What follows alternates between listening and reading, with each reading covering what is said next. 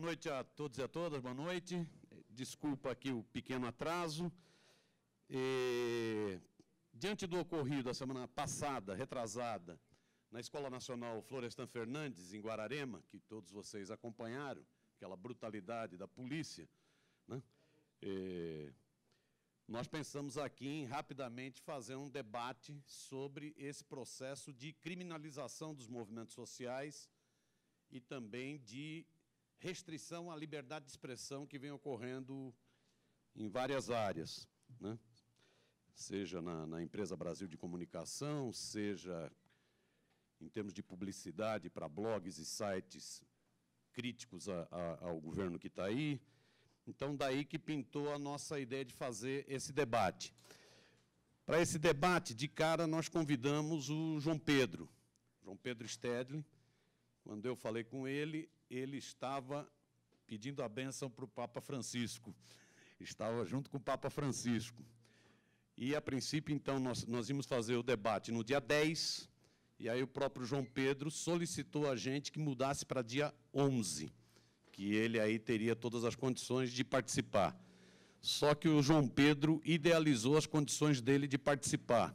Ele não é um menino de 20 anos de idade, como a Karina, que acabou de chegar lá, uma menininha de 20 anos de idade, né? É, tem lá os seus probleminhas também de saúde, né? e chegou hoje de madrugada. Chegou, em, né? que a gente pensava que ia chegar ontem de madrugada, chegou hoje de madrugada.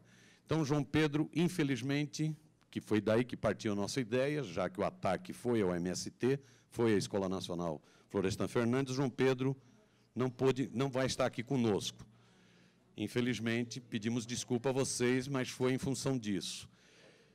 Nós vamos tocar o debate. Nós montamos o debate tentando abordar vários aspectos. Abordar o aspecto dessa ação da polícia, do governo Alckmin, em Guararema, na Escola Nacional Florestan Fernandes, o aspecto da repressão que está se dando nas escolas ocupadas, seja repressão, seja silenciamento sobre as escolas ocupadas, já são mais de 160 universidades eh, eh, ocupadas, mais de mil escolas ocupadas, né? tentando também abordar o aspecto mais jurídico, o que está em curso né? nessa escalada autoritária no Brasil, que vem acompanhada do golpe do impeachment, né? Que vem acompanhada do resultado das eleições agora em outubro, né? de uma onda conservadora no Brasil, né?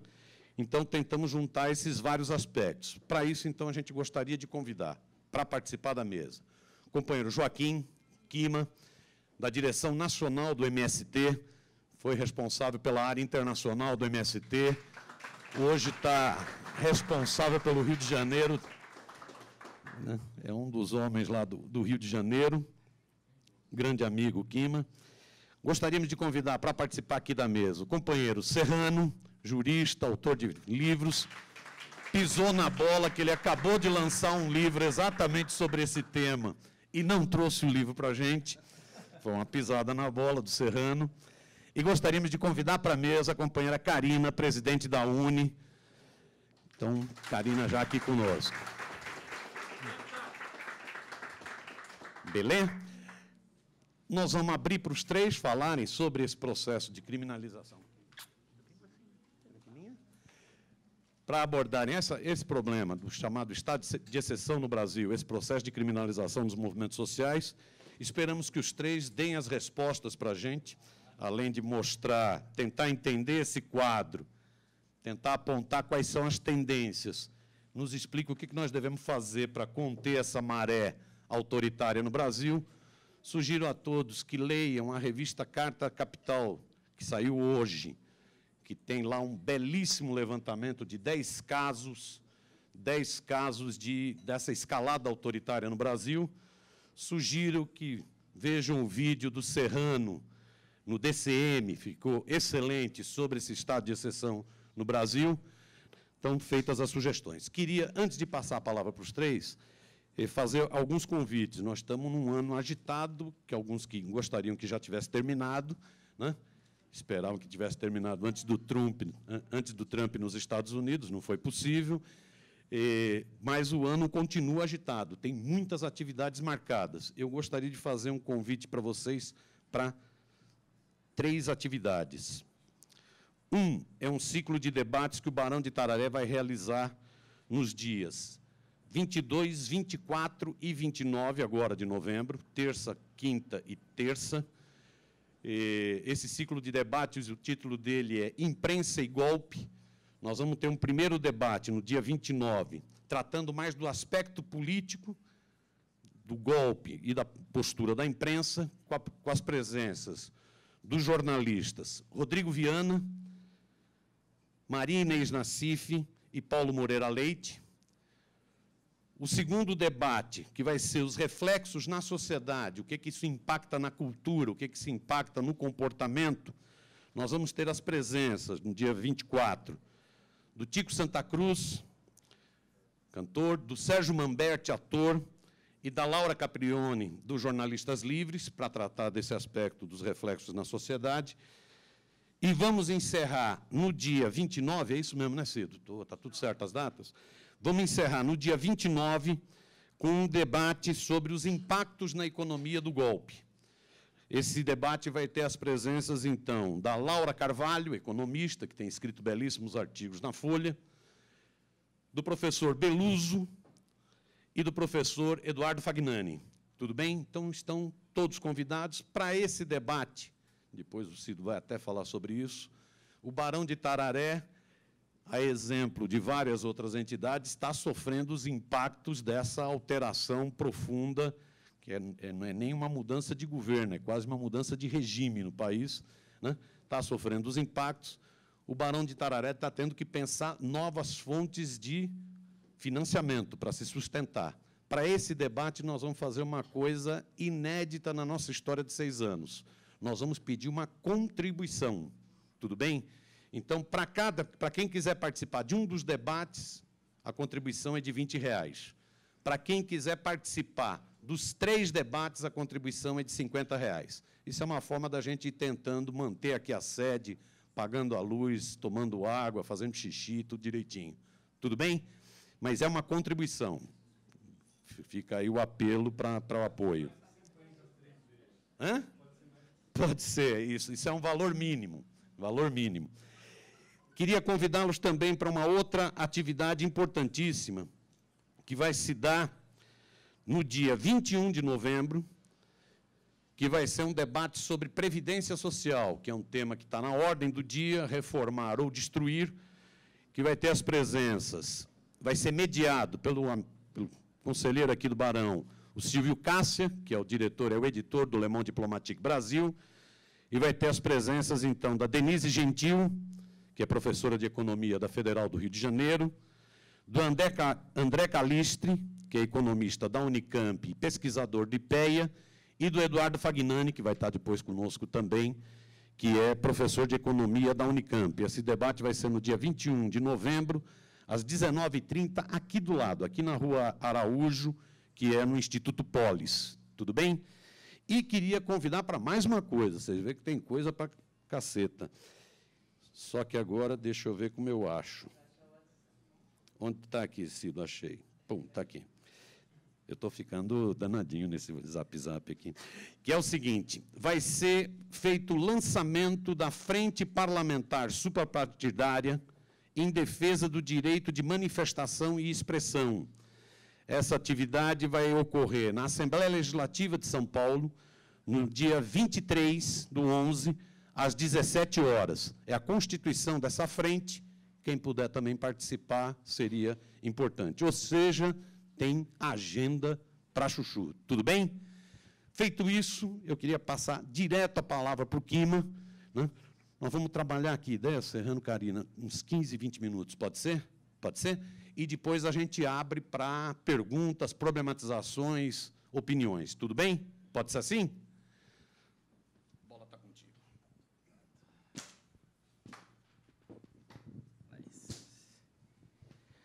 Bom, boa noite a todos e todas. Boa noite. É, primeiro agradecer aqui o convite, Barão de Tararé, na figura do camarada Miro, Já nos conhecemos, acho que há quase uns 50 anos, né? Tá bom. É, Miro, nosso professor. É, quero aproveitar também, já foi dito aqui, e João Pedro pediu para que viesse aqui cobrir essa, essa missão. Não é coisa muito fácil, mas estamos aqui. Ele estava lá em Roma, é, e por coincidência ou não, é, foi justamente nos dias do ocorrido na escola Florestão Fernandes, na nossa escola lá em Cidrolândia, no Mato Grosso do Sul, e no nosso assentamento e acampamento lá no Paraná, dessa atividade truculenta, violenta, criminosa das polícias nas nossas áreas. Não é? E aproveitar, é, pedir licença aqui para fazer assim uma saudação muito carinhosa àquele companheirinho ali, Vitor Gianotti. Seguramente, é, eu estou agora no Rio de Janeiro e estive nesses últimos 2005, esses últimos dez anos, assim, convivendo com o Vitor Gianotti, é, muito presentemente. E o resultado disso, inclusive, nos últimos anos, foi a criação de um tabloide que nós ajudamos a construir no Rio de Janeiro, que é o tabloide do Brasil de Fato, que é uma experiência nova, não é? que é um jornal distribuído gratuitamente, hoje duas vezes por semana, e o Vitor Gianotti era um dos principais entusiastas desse projeto. Né? Então, toda a nossa luta, toda a nossa resistência, é, a gente se transforma muito mais forte quando a gente mira na figura do, do camarada Vitor Gianotti. Por isso, Vitor Gianotti, presente, presente, presente. Muito bem. E também lembrar que hoje foi um processo muito importante em todo o nosso país, que foi da mobilização né, de 11. Ainda estamos recebendo via internet, via zap, a Karina deve estar monitorando aí. É, como é que foram as atividades hoje? Nossas bases todas estavam mobilizadas hoje. Então, é? Ah, é, então. É, nós estivemos lá no Rio, agora também nosso povo tava, foi aqui para a Avenida Paulista, depois foi lá para a Sé, não é isso? Enfim, então, é, também é um, um, bom sinal de que estamos vivos e não vamos baixar a cabeça, estamos em luta, não é? Luta permanente. Então, acho que isso é importante também e é um bom, um bom tema de introdução aqui. Bom, é, eu queria, eu anotei algumas questões aqui para trabalhar com, com a gente, fazer o debate aqui hoje.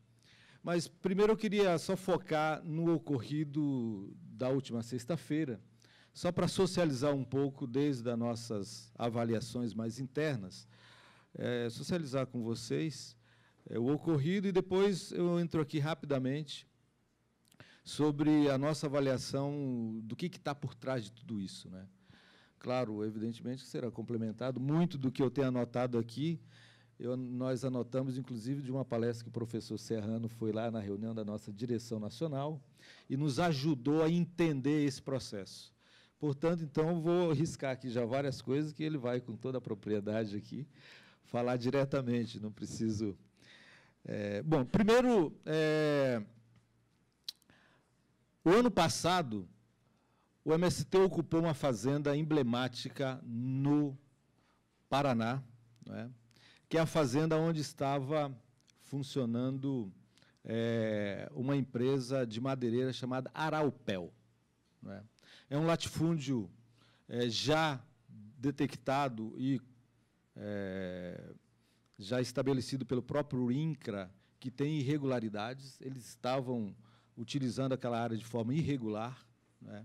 E por isso e existe um processo já de, de desapropriação da empresa é, correndo na justiça, e por isso que o MST, é, identificando essa situação, é, fez aquilo que a gente sempre fez desde quando nasceu, que é fazer o quê? ocupar aquela terra para pressionar os poderes constituídos para aplicar a lei. Que a lei diz o seguinte: toda é, terra que não cumpre a sua função social deve ser utilizada para fim de reforma agrária. Está lá no seu artigo 184, 185, 186. Não é? Muito bem. Então, essa é a nossa missão, essa é a nossa tarefa, esse é o nosso trabalho. O MST ocupou aquela área. É? Como vocês sabem, é, o Estado do Paraná é governado pelo um governador é, chamado Beto Richard, que é do PSDB. É? E, no seu processo de articulação com a empresa Araupel, articulou para que a sua polícia pudesse ir lá, naquela área, é? e foi justamente em abril desse ano, outro dado importante, quando se completou 20 anos de impunidade do massacre de Eldorado dos Carajás. Né? A polícia do Estado do Paraná, juntamente com os jagunços, que eles chamam de seguranças da empresa, na verdade são jagunços articulados, assim como ocorreu no Pará também, a polícia do governo do PSDB, articulado com os jagunços das, do, dos fazendeiros da região, foram lá e tentaram invadir o acampamento, não é? E resultou é, na morte de dois companheiros nossos naquele episódio. Né? Fato esse que até agora continua sem nenhum tipo de punição. Né? É, e aquilo que deveria ser um processo para investigar essa ação criminosa do Estado, juntamente com a empresa Araupel, reverteu esse processo e começaram a perseguir e a investigar os trabalhadores que ali estavam ocupando aquela área. Né? Então, todo o processo originou-se daí. Né? É, agora, recentemente, é, foi expedido, então, um mandado de busca e apreensão é, de 14 companheiros nossos, companheiros e companheiras, que estavam naquela atividade, naquela ocupação lá no Paraná.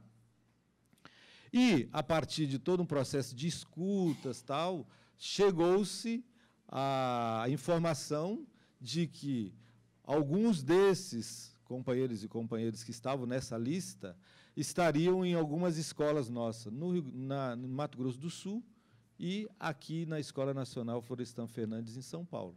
Né? É, e empreenderam-se, então, essa diligência, diligência para buscar os nossos companheiros. É, no Mato Grosso do Sul, então, o governo do estado do Mato Grosso do Sul se recusou a contribuir com a polícia do estado do Paraná, mas a polícia chegou a ir na escola nossa em Cidrolândia, não é? eram duas viaturas, e nesse episódio, a sorte nossa é que nós tínhamos lá é, uma brigada que estava fazendo processo de formação, e impediram que, de fato, a polícia pudesse adentrar na escola. Só chegaram a, a entrar numa única residência lá. É? Porque também eles estavam lá e não apresentaram nenhum mandado não é, de, de, de entrada na escola. É?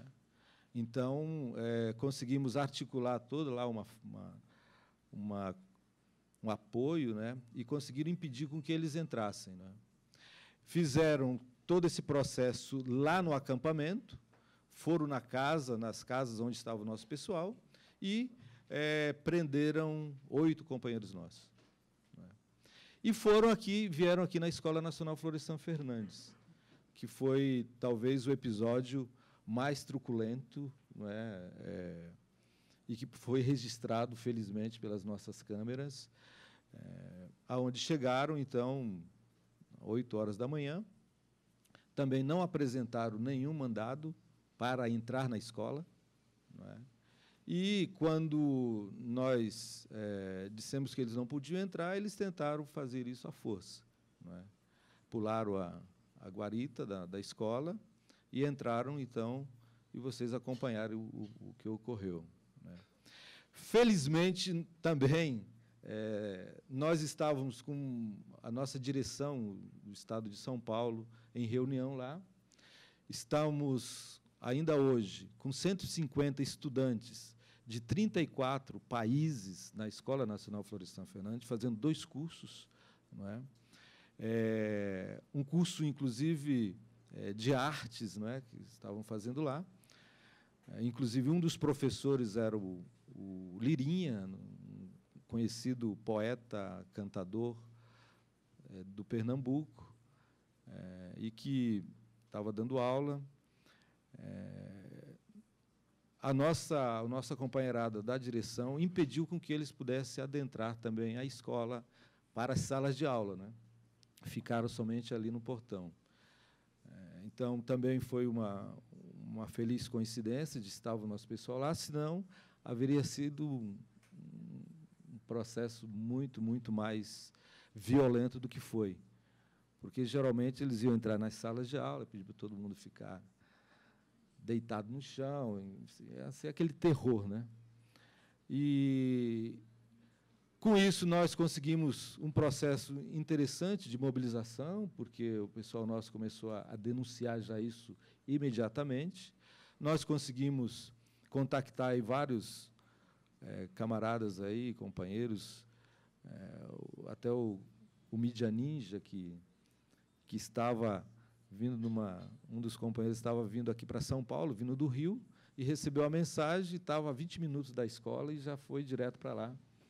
Tínhamos um, um, deputado, que é o Tato, que estava, acho que indo para Brasília, já no aeroporto, e de lá já foi para a escola. Então, conseguimos, felizmente, mobilizar uma, uma quantidade de pessoas. E lá, na escola também, estávamos é, com um curso é, da RENAP, que é a nossa rede de advogados populares. E aí, claro, é, também subiram e, e, ajudaram nesse processo de impedir com que a, essa repressão fosse maior. Né? Então, assim, de forma bem geral, é, esse foi o, o ocorrido. É? É, tudo isso, felizmente, foi bem registrado e, e conseguimos mobilizar de forma muito rápida. É, o João Pedro estava em Roma, conseguiu também, a partir daí, articular os nossos contatos na Europa. Enfim, Fizemos um bom trabalho graças à solidariedade da companheirada que apoia o MST e conseguimos reverter um pouco esse quadro. É? Mas isso é um processo que ocorreu, é momentâneo, não é? mas nós sabemos que é parte do golpe. É? é parte desse processo que nós estamos vivendo no nosso país. Talvez alguns tenham uma tese que é mais um balão de ensaio que se fez justamente na Escola Nacional, assim como foi feito no caso da prisão do Lula, né, da, do, da, da, da coerção do Lula. É, enfim, então, é, na nossa avaliação, é, esse é parte desse processo que está aí, não tenhamos, nós não temos dúvida. Não é? a, a, a nossa, talvez a nossa experiência já vivendo o período de Fernando Henrique Cardoso, também nos faz é, analisar esse episódio de forma um pouco mais isenta, sem entrar muito na, na questão mais emotiva, que não é, não é fácil sair disso, porque a gente é tomado por muita raiva, muita indignação não é?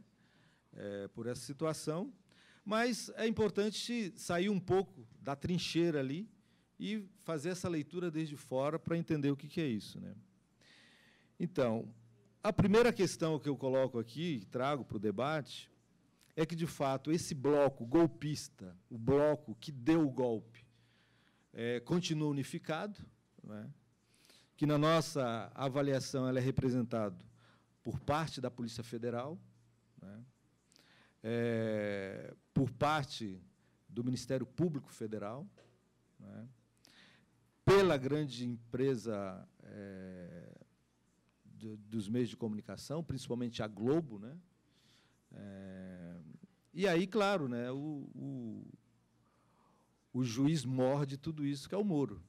Né? Então, na nossa avaliação, esse bloco continua consolidado e continua forte.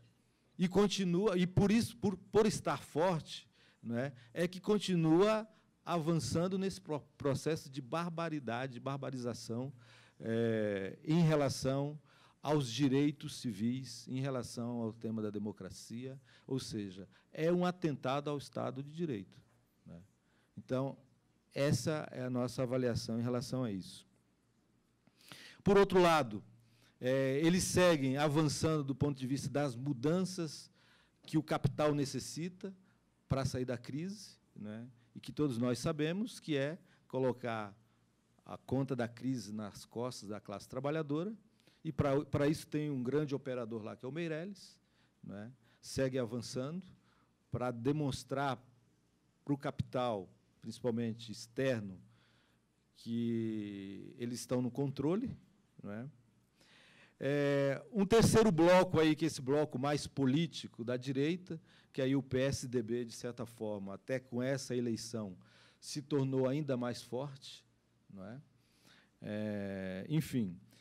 E eles apresentam o programa do golpe, né? que, na verdade, é, na nossa avaliação também, essa mudança na política internacional, né? ou seja, saindo, mudando todo esse cenário que desde o Lula foi construído da política externa brasileira, que é aquela política que ele dizia que era a relação tinha que ser sur-sur, né? ou seja, a relação com os vizinhos aqui da América do Sul, relação com a África, relação com a Ásia, não é?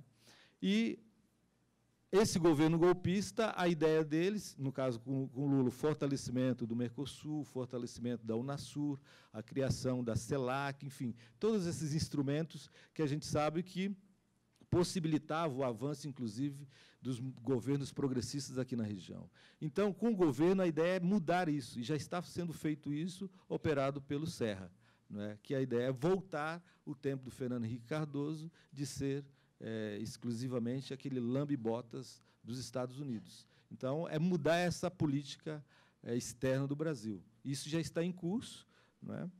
É, o outro tema que nós sabemos é a retirada de direitos. Não é? E aí está a PEC, é para isso. Não é? é? os ajustes estão ocorrendo. É? Então, está sendo é, com a maioria que eles têm no parlamento, então estão fazendo essas mudanças, estão fortalecidos e estão fazendo o serviço, o dever de casa. Né? Não, nós não devemos ter dúvida. Né? E a ideia é justamente aquilo que é o projeto neoliberal, é Estado mínimo. Né? Estado mínimo para os pobres, né? porque continua sendo Estado forte para os ricos. Né? É, e é o tema das privatizações, então, na saúde, na educação, enfim, é aquele receituário que a gente já está acostumado a, a, a ver com, com o tema do Fernando Henrique. A questão é o seguinte: para fazer essas mudanças, não é, é não é assim tranquilo, é? porque sabe que vai ter resistência, e está tendo. É? E, por isso, é fundamental e importante fortalecer os instrumentos de repressão. Né? Eu acho que aí é que está a grande questão. E nós, enquanto movimentos sociais, movimentos populares, as forças progressistas, de esquerdas, democratas, temos que estar preparados para isso, porque esse é um, o início desse processo. Né? Foi, com MS, foi com Lula lá atrás, agora com o MST, e assim vai. Não é? Está sendo com os estudantes nas escolas, não é? A CPI, não sei se aprovaram da Uni lá, enfim. É, é isso. Já tem outra CPI do MST em curso aí. Então, nós não temos tenhamos dúvida de que, de fato, esse processo vai se acirrar ainda mais, porque eles precisam manter esse processo de repressão para tentar intimidar os movimentos e as forças contrárias a esse golpe. É? Então, é, qual é a questão aí? é, são as contradições que, que é inerente é, à aplicação desse projeto. Né? A primeira delas é a crise econômica. Então, é, cada vez mais está se, se ampliando essa crise, ou seja, não conseguiram resolver isso, não é? e não vão resolver porque a crise é estrutural, não é basta fazer isso que vai mudar. Não é? É, nós temos aí cada vez mais os, os, os números indicando o aumento do desemprego, ou seja, aquela pressão social está é, cada vez mais aumentando. Não é? É, a Lava Jato começa a chegar, por exemplo, com possibilidades nesse núcleo mais forte do governo Temer, isso é uma contradição para eles, é? que como é que a direita vai resolver isso, né? É, agora, a gente tem percebido, né? Por exemplo, o Miro falou aqui na introdução, já são mais de 150 universidades ocupadas, 185 universidades ocupadas, mais de 2 mil escolas secundárias, né? Então, ou seja, é, essa é a contradição. E nós, enquanto força social, temos que fazer essa leitura e ver quais são as possibilidades, quais são as brechas que nós temos nesse período para tentar construir a unidade e nos fortalecer para fazer a resistência. Né? É... Do nosso lado, também temos as nossas contradições. Né? Estamos fragmentados é... e estamos, de certa forma, numa tentativa já há algum tempo aí de construção das frentes, é? que tem nos ajudado nesse processo. Não é, não é tão simples, mas é o que nós temos. Né? E ah, talvez a nossa função enquanto dirigentes, enquanto militantes, é? enquanto lutadores sociais, é fazer essa leitura mais é, desapaixonadamente, não é? é? deixando as nossas diferenças secundárias de lado, é? tentando deixar aquilo que muitas vezes as nossas autocríticas apontam, que é a, a, aquela nossa sempre vontade de, de estar na, na frente das coisas, é, é tentar fazer essa análise e saber que não é só contra o MST, não é só contra o PT. Né? Lá atrás a gente já fazia essa análise que o, o, golpe é para todo aquilo e aque, a, a, aqueles e aquelas não é, que têm um pensamento mais progressista, né? pode ser que esteja em partido ou não, e, enfim, vai vir para todo mundo. Né? Por isso que a nossa avaliação é que esse é o momento de, primeiro, eu já finalizo, que já dei meu tempo, com os três desafios aqui. Nós temos que encontrar uma forma de aglutinar essas forças que hoje ainda muitas delas estão dispersas, né, para nos fortalecer. E isso só será possível se nós pensarmos e construirmos um projeto de país. Não é, não é tão simples, mas nós temos que iniciar esse processo. É? Um projeto, de fato, de país, de nação. É? Tentar tirar um pouco essa questão da eleição, mais do imediato, de começar já a discutir nomes, mas discutir projetos. Não é? Discutir projetos. É, e o outro tema é seguir fortalecendo o trabalho de base. Não é? Nós temos que voltar, ou quem está fazendo tem que fortalecer, temos que fazer o trabalho de base, porque é isso é que vai nos dar força para enfrentar esse período. Né?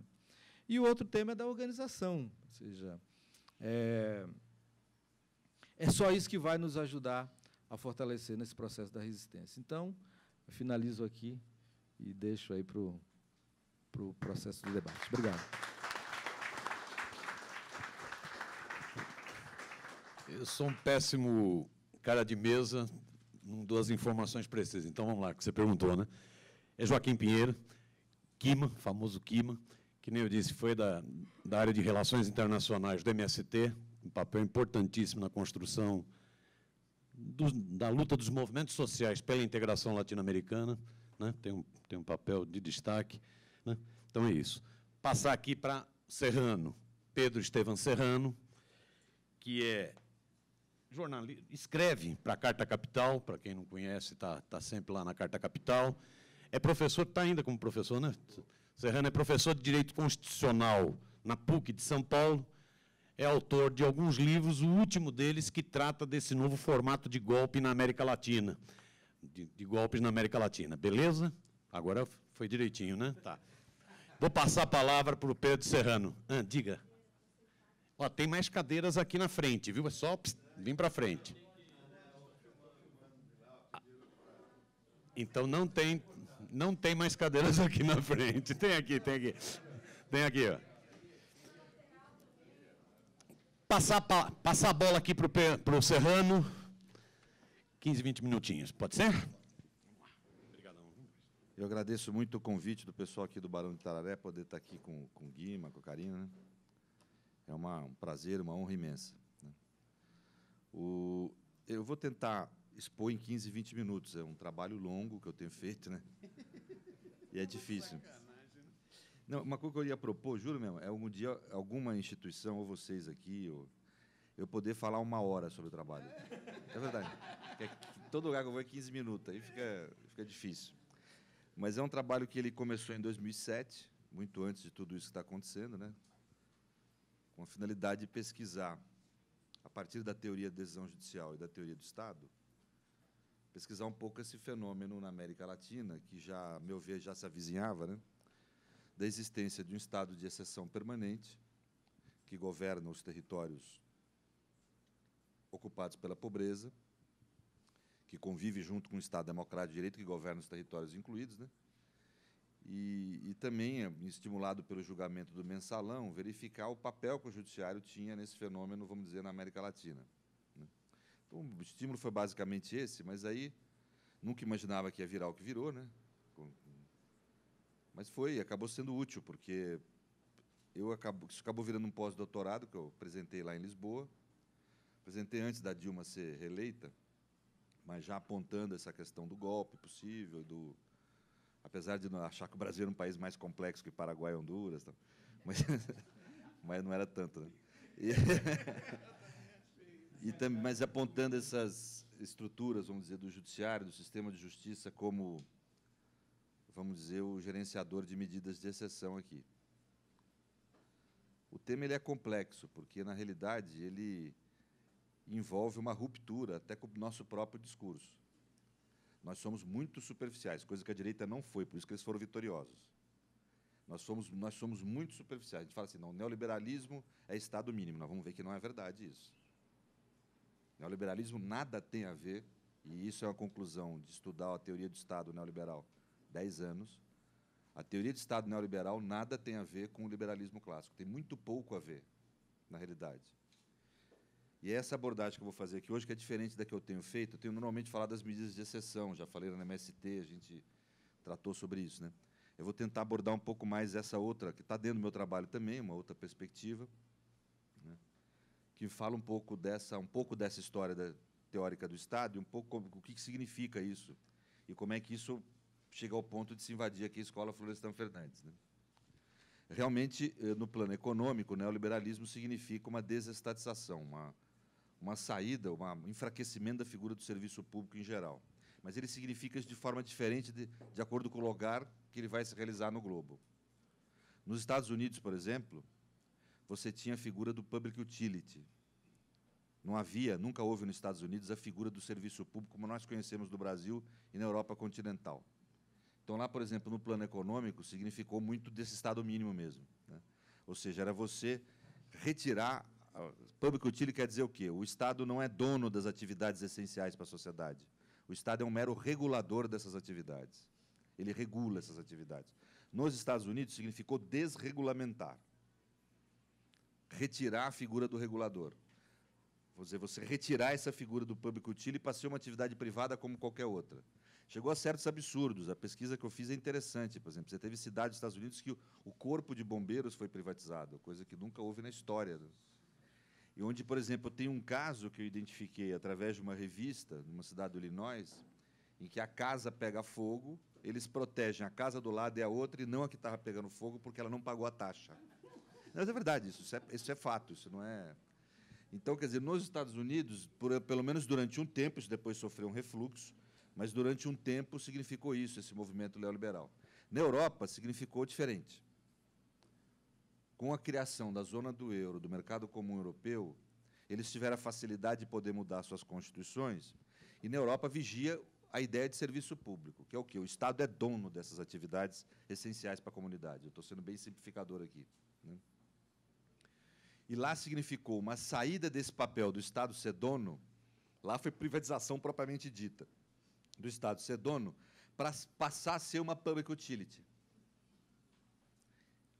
Então, para adotar o modelo americano pré-neoliberalista.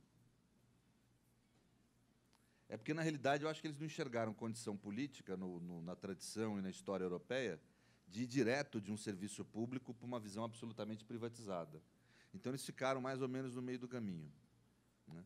Ou seja, propuseram a saída da figura do serviço público e a entrada da figura da regulação. No Brasil, foi, o que se tentou fazer foi algo semelhante ao modelo europeu. Em termos formais, nós sempre tivemos a estrutura do, do Estado brasileiro, uma estrutura de serviço público, e houve uma tentativa no governo Fernando Henrique, mais ou menos bem sucedida, porque aqui eles não tiveram a facilidade que tiveram na Europa. Aqui a nossa Constituição foi um obstáculo foi uma dificuldade. Na Europa, como havia a formação do Estado europeu, do mercado comum europeu, teve que haver modificações nas estruturas constitucionais. Eles aproveitaram essas modificações para introduzir esse novo modelo. Aqui foi mais difícil. Então ficou um troço muito capenga aqui. O tal do neoliberalismo no Brasil é um troço bem furado. Assim. Ele, ele, no plano econômico e estrutural do Estado, ele não funcionou tão bem. Mas neoliberalismo, que é aí o que eu queria entrar no assunto, ele não é só isso. Ele não é só esse modelo econômico de diminuição do papel do Estado por um lado, ele é isso. Ele significa, vamos dizer, a defesa da ideia de liberdade de mercado. Mas esta ideia, e aí que rompe totalmente com o liberalismo clássico, junto com um Estado forte e supressor das demais liberdades públicas. Essa ideia foi gestada em três momentos: o governo Nixon, o governo Pinochet no Chile e o governo Reagan. O laboratório disso foi o governo Pinochet. O governo Pinochet foi assessorado pelo chamado Chicago Boys, já deve ter ouvido falar. É o Milton Friedman e a turma dele, quer dizer, diretamente os criadores do, da ideia neoliberal. Em que eles se juntam com uma ditadura para poder montar o modelo deles. Quer dizer, faz, ó, é essencial para o modelo liberal um Estado forte, mas não na economia, mas um Estado forte e grande, um aparato de violência estatal muito bem constituído. Isso, nos Estados Unidos, isso começa no período Nixon, com discursos, mas de uma forma meramente discursiva. O Nixon não fez nada na prática. Ele criou discursos de guerra antidroga, de coisas do gênero, para começar a criar o ambiente discursivo. É com Reagan que começa o processo de encarceramento em massa da população negra e latina, de uma forma nunca vista na história humana. Você sai, no começo da década de 80, de cerca de 210 mil aprisionados para mais de 2 milhões em 10 anos. Né? E é uma política neoliberal proposta para o mundo, tanto quanto a proposta financeira, que nós, de esquerda, só falamos do, da globalização financeira. Isso alastra pela América Latina inteira. O Brasil passa a ser a quarta maior população carcerária do mundo. 600 mil, dependendo de como você conta a população carcerária, se incluir as prisões domiciliares e, e semiabertas, você passa a ser a terceira, a gente ultrapassa a Rússia. Né? E desses, desse contingente, cerca de 650 mil presos, nós temos 40% que estão presos sem ter tido direito de se defender, presos por prisões provisórias. Além do que, nós matamos cerca de 3.500 pessoas por ano, nossas forças policiais, o que é mais que a Guerra do Golfo. A Guerra do Golfo matou 2.200, em média, por ano. Ou seja, você tem um aparato, o liberalismo implica na criação de um aparato de um Estado forte, de um Estado supressor das liberdades públicas. É uma nova forma de conceber o Estado. É isso que nós temos que entender. Não tem nada a ver com. O nome liberal é ruim, porque ele, ele não ajuda a identificar o fenômeno. É uma forma diferente do liberalismo clássico. Né? Muito diferente. Aliás, não é incomum pessoas que ainda adotam a defesa da ideia do liberalismo clássico conflitando com a forma neoliberal de pensar o Estado. Não é incomum isso. Então a gente precisa precisar isso. E é este tipo de estrutura estatal violenta e de exceção, a, o paradigma, quando você analisa algo que está em biópsia, não em necrópsia, em qualquer atividade científica, você, você tem que usar paradigmas. É difícil usar raciocínio dedutivo, modelos muito fechados, porque você está viva a coisa ainda, você não sabe direito o que vai dar. Né?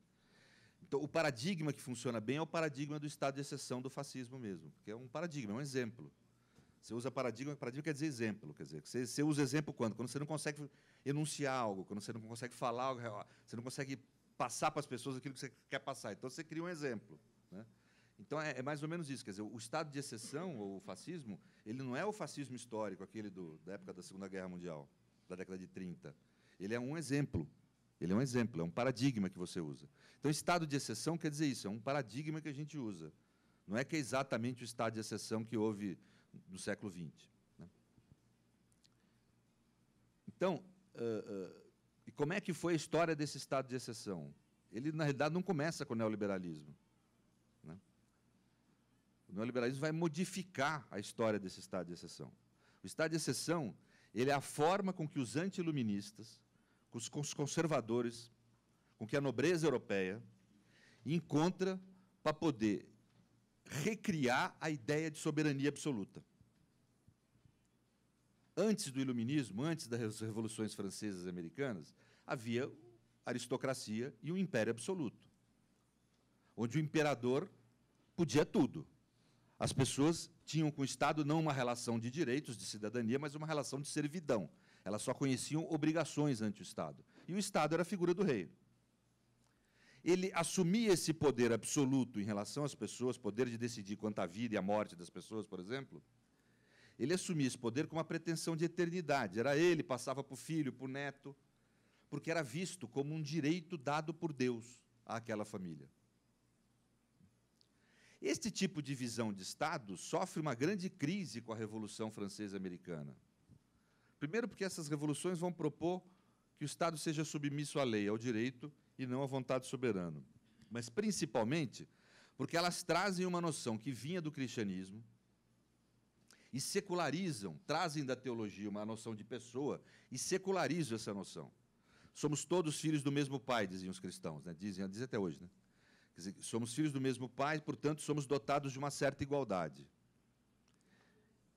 E dessa igualdade significa que um não pode ser coisa do outro. Então, dessa igualdade nasce a liberdade. A liberdade é algo que, ao contrário do que pensam os liberais, ela vem da ideia de igualdade. Né? Não existe oposição entre essas ideias. É que não pode haver liberdade sem igualdade. Porque senão vira coisa do outro, de alguma forma. Né? Então, a ideia de liberdade pressupõe a ideia de igualdade. Né?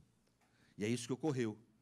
Dessa ideia igualitária que trazia a cristandade, gerou uma, uma secularização que se traduziu numa proteção jurídica e política mínima para qualquer ser humano, através um reconhecimento de um conjunto mínimo de direitos.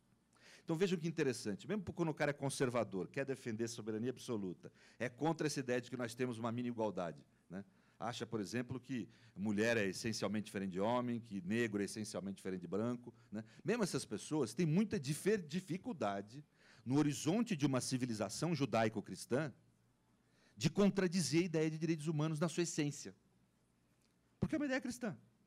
Então, como é que o Bolsonaro vai falar de o que ele falar o que ele pensa se ele é cristão? Ele vai falar o quê? Que ele não acredita em Deus, em Cristo? Ou seja, nesse ambiente de uma civilização judaico-cristã, é muito difícil a interna, através da interpretação de uma construção que eu não vou me alongar aqui, que eu tenho pouco tempo, mas que é interessante discutir, ver os detalhes. Tal. Então, isso aí marca o século XX. Eu vou pular aqui, eu, marca o século XX. No século XX que nós temos é o quê? A interrupção da democracia e a suspensão dos direitos humanos por governos de exceção, governos ditatoriais que buscavam combater o inimigo. O inimigo na Alemanha era o comunista e o judeu, na, na, Itália era o comunista e o burguês, uma figura do burguês que o fascismo falava que era meio. não era o burguês que nós conhecemos aqui, é um, é o vagabundo, cara gordo, ganhava dinheiro sem trabalhar. Tal.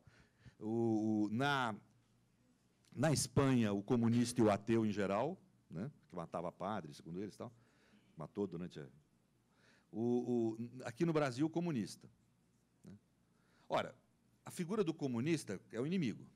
Ele está disperso por toda a população. O comunista pode ser branco, negro, pode ser pobre, rico. Então, havia necessidade de um governo de exceção, porque você tinha que suspender os direitos de toda a comunidade. E não apenas de uma parte da comunidade. Alguns direitos eram suspensos de toda a comunidade. O direito, por exemplo, à livre manifestação do pensamento. É, ninguém podia manifestar pensamento. Agora, se alguém manifestasse um pensamento e esse pensamento parecesse ser de oposição, aí avançava a suspensão de direitos. Ele tinha o direito à sua integridade física suspenso e talvez até ao seu direito à vida. Mas eram governos de exceção que realizavam isso, sempre com o discurso de provisoriedade. Hitler falou que era provisório, Mussolini também, Franco também só durou até ele morrer, 50 anos. Quer dizer, mas o discurso era de provisoriedade. A ditadura militar começa aqui no Brasil, por exemplo, com o discurso do do, do Castelo de que ia durar quatro, cinco anos. E depois ia ser convocado eleições. Mas o discurso é sempre de provisoriedade, por mais permanente que seja a intenção. Né? Esses governos de exceção, e aí tem a ver com o projeto neoliberal, que eles têm que reconstituir a teoria do Estado deles, né? e é aí que é ruim a gente de esquerda, nós não temos tradição de teoria do Estado. Marx disse que queria escrever uma, acabou morrendo antes. Então, nós não temos uma teoria de Estado, essa é a verdade, nem uma teoria de governo. Nós não sabemos o que é um governo de esquerda. Sabe muito superficialmente, ninguém aqui sabe com exatidão. A impressão que me dá, tem um autor chamado Deleuze, que ele fala uma coisa que parece real, nós temos, na, na contemporaneidade, governos que adotam algumas propostas de esquerda, não propriamente governos de esquerda. Talvez, hoje em dia, a ideia de governo de esquerda seja antitética, ou se é esquerda ou se é governo, do jeito que a coisa está se constituindo no mundo. Mas isso a gente vê depois. Agora, de qualquer forma, quer dizer, uh, uh, uh, com a queda do muro em 89, muda todo o esquadro político. A democracia, como discurso, passa a ser adotada universalmente, como um valor universal. Né? Então, não há mais como haver ditaduras ou governos de exceção. Mas isso não quer dizer que o mecanismo autoritário deixou de existir. Não, o autoritarismo é essencial para viabilizar o neoliberalismo. Ele precisa de um Estado forte, supressor das liberdades. Como é que ele faz isso? Qual a mecânica que ele usa para fazer isso? Ele usa medidas de exceção no interior da democracia. Ele usa das autoridades democráticas com a, a, a legitimidade que a imagem de ser uma autoridade democrática traz para produzir medidas não democráticas com aparência de serem democráticas. É o que no direito nós chamamos de fraude. O que é uma fraude? É quando eu cometo uma ilegalidade querendo dar uma aparência de legalidade. É um truque, né, vamos dizer assim. Né? E é o que se observa. Os Estados Unidos começa com essa política de encarceramento em massa e a produção de legislação totalmente contrária aos direitos fundamentais do homem. Clinton, por exemplo, é um governante que ajudou muito esse encarceramento. Hoje ele se arrepende. Nos discursos dele, fala que foi um grande erro do, do governo dele mas ele aprovou legislação que aumentaram o encarceramento mais ainda. Né? Isso atinge, vamos dizer, o clímax com o ataque de 11 de setembro, onde isso pode passar a ser mais politizado. E você tem a produção do chamado Patriotic Act, a retomada da ideia de segurança nacional. Né? O Patriotic Act autoriza o uso de tortura como médio de investigação. Só que o inimigo aí não é a sociedade como um todo. O inimigo é um muçulmano, que é uma, um culto e que, de certa forma, pega em etnias. Então, ele não está disperso pela sociedade como um todo, é uma parte da sociedade que sofre a suspensão de direitos. Mas é a mesma característica do estado de exceção, só que é uma medida de exceção no meio da democracia. Suspende os direitos provisoriamente a título de combater o inimigo. Na Europa foram as leis antiterrorismo. Qual a legitimidade que essas leis, que são profundamente agressivas aos direitos do homem, profundamente agressivas às constituições americanas e europeias em geral, né? americana e europeias em geral? Mas qual a legitimidade que elas usam? O fato de terem sido produzidas por autoridades democráticas. É na pessoa da autoridade a legitimação. O Patriotic Act foi produzido pelo parlamento, pelos deputados norte-americanos e aprovado pela Suprema Corte. As leis antiterrorismo na Europa foram produzidas pelos parlamentos, pelos deputados eleitos pelo povo. Aqui na América Latina, a coisa foi diferente. Nesse mesma, nessa mesma vibe, como fala a juventude, mas de um jeito próprio, tropicalizado, diferenciado, próprio nosso. Que eu vou tentar falar quais que são as. Primeiro, aqui também passou-se a produzir medidas de exceção no interior dos regimes democráticos, que se traduzem em dois tipos de medidas de exceção. O que já ocorria nos Estados Unidos, ou seja, um estado de exceção que encarcera e produz genocídio para gerir e controlar a pobreza. Hum. E aí a figura do inimigo é a figura do bandido, o bandido é interessante como figura de inimigo, quer dizer, ele, ele, ele não é da sociedade como um todo. Todo você vai falar, mas tem rico bandido também? Tem. No sentido normal da palavra bandido, tem. Mas o bandido, no sentido da construção da figura do inimigo, ele é sempre pobre. O rico, quando comete um crime, é o cidadão que erra. Então. Hã? É. Mas, digamos, agora corrupto virou bandido também, mas a gente vai ver daqui a pouco. Mas Nesse primeiro modelo de estado de exceção permanente, o que ocorre é isso: são territórios ocupados pela pobreza que são governados por um, uma governabilidade de exceção. Aqui no Brasil existe uma força de ocupação militar criada para isso, não é uma polícia, tem nome de polícia, mas não é uma polícia, é polícia militar. Ela é feita para ser uma, uma força de ocupação territorial. Você vai nas periferias das grandes cidades, você tem a impressão de estar num território ocupado pelo inimigo. Você não pode sair depois de determinada hora, você não pode circular livremente, você tem que tomar cuidado com o que você fala. A expressão da dança, da sexualidade, na, da sensualidade jovem nos, nos, nos, movimentos jovens de dança, de arte, de brincadeira, são reprimidos, né? o funk, essas coisas assim, né? porque fala, não, mas é que faz sexo lá, pô, no mundo burguês faz sexo em todo lugar, quer dizer, não tem. Na verdade, eu me lembro quando era jovem no Carnaval do Rio de Janeiro, tinha escala, não sei se você lembra disso, mira mais ou menos. tinha essas coisas, dizer, aparecia na televisão, assim, todo mundo achava bonito aquilo, aparecia na Globo, né? É porque era rico fazendo. Então, então, quer dizer, ou seja, você tem uma força de ocupação territorial, um estado de exceção permanente ali. O que passa a ver de interessante na América Latina é isso. Uh, é a produção de medidas de exceção também para setores incluídos.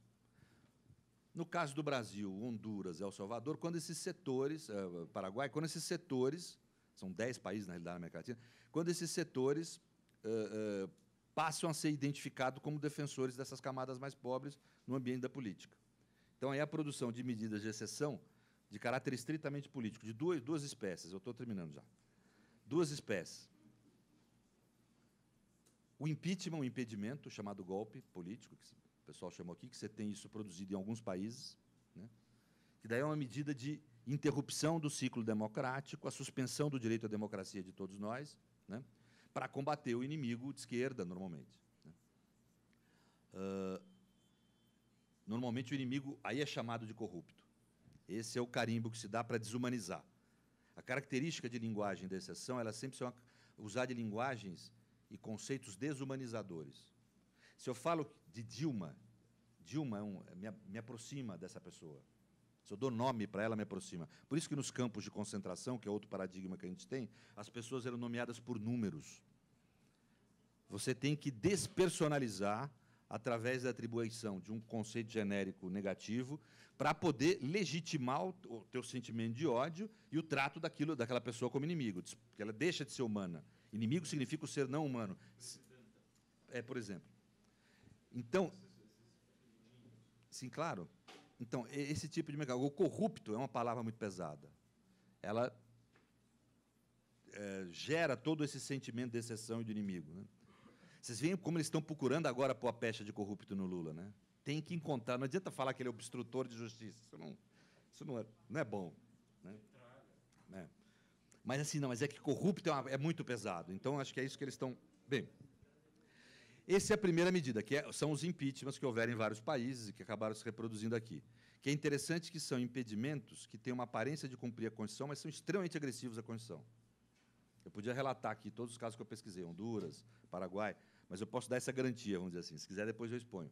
Mas, assim, é, há um descumprimento absoluto da Constituição, como houve no Brasil. Tá?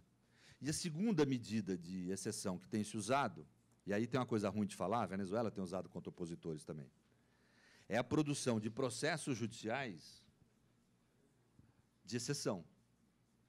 Ou seja, você usa da forma do processo judicial para, na realidade, promover a criminalização de um opositor político e justificar a suspensão da sua condição humana. Mas aí o processo judicial não entra como um verdadeiro processo judicial, onde você tem defesa, produção de fatos, etc. Ele entra com uma capa, uma roupagem de produção. Né? E aí, tanto um quanto o outro me levou à seguinte conclusão: ao contrário da Europa e dos Estados Unidos, na América Latina, o agente da exceção, o soberano que impõe exceção, é o sistema de justiça. O juiz, o promotor e o delegado. Essa conclusão tinha chegado antes do golpe aqui. Né? Quer dizer, que, verificando casuisticamente o que ocorre aqui. Né? Isso acabou se confirmando, a meu ver, depois, onde, inclusive, a produção do impeachment no Brasil foi feita a partir da. Quer dizer, foi criado o clima, a formação do que eu chamo de ralé, que eu posso explicar depois o que é. A formação da ralé se deu a partir da, de operações policiais e de justiça, na Argentina, não precisou fazer o impeachment. Derrubaram a presidente através de acusações do Judiciário e do Ministério Público. Acabaram matando lá um, um promotor, que daí virou uma confusão, vocês sabem da história. Aí acusaram, obviamente, a presidente. Isso acabou fazendo com que o candidato dela caísse nas pesquisas e ficasse fora do, do, do, do páreo. Mas, de qualquer forma, é isso. O que nós temos na América Latina são duas características interessantes que é só nossa, na produção desse estado de exceção neoliberal. Primeiro, ele é gerenciado, gerido, o autor da exceção, o soberano em que impõe a exceção é o sistema de justiça, é uma característica nossa isso. Né? Uh, e a segunda característica é que, nossa, até perdi. Duas, é, então. É isso que é o sistema de justiça, e a segunda é que. Uh, uh, agora, depois eu lembro. Eu acho que é isso, gente. Eu tentei expor um, rapidamente, é difícil expor em pouco tempo, né? Quer dizer, mas a ideia é essa, quer dizer, você passa a ter medidas no interior da democracia, medidas de exceção, que são usadas como essa forma de, de gerir a vida no ambiente social. Né? Só para dizer o que eu acho que vai virar. Né? Eu acho que a tendência é essas medidas irem se expandindo cada vez mais. Nós podemos esperar mais repressão aos movimentos sociais, mais repressão às lideranças em geral de movimentos opositores, mais uso de processo judicial para perseguir pessoas politicamente. Né? E isso vai num processo de expansão até que o caos é, é interessante isso. Todo Estado autoritário ele tende ao caos, ele não tende à ordem. Né? Ele estabelece a ordem por um tempo, depois ele cai no caos. Isso sempre ocorreu, é 100% dos Estados autoritários do século XX ocorreu isso. Então, a tendência é a introdução cada vez mais de elementos caóticos. Eles já estão, já estão havendo. A economia brasileira está desorganizada, Uh, o capitalismo brasileiro está em crise, está posto no banco dos réus também. Ou seja, esses elementos caóticos eles vão provavelmente chegar até um certo nível em que a sociedade não vai suportar mais. Aí você passa a ter regressão. Se isso vai demorar dois, três ou dez anos, a gente não sabe. Na Europa dura até hoje, na, na Itália. Durou dez anos de operação mãos limpas e as consequências estão até hoje. Ela cai de sexta economia europeia para a 27 para a sexta, sexta economia do mundo para a 27 Então, estamos na frente da Itália, inclusive, até hoje. Então, isso parece que não tem chance de recuperar tão cedo. Então, os efeitos e é difícil prever, mas que com certeza dá para dizer isso. Até os elementos caóticos se apresentarem de forma muito incisiva na vida social, vai haver expansão das medidas de exceção. Nós estamos, a meu ver, nós, nós estamos ainda no começo. Ah, vai haver uma tendência à expansão. Eu agradeço muito, gente. Obrigado.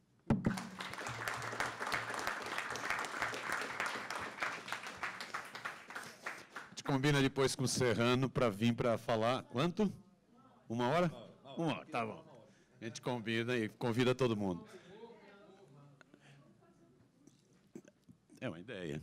Passar aqui para essa poderosa mocinha, Karina, presidente da União Nacional dos Estudantes.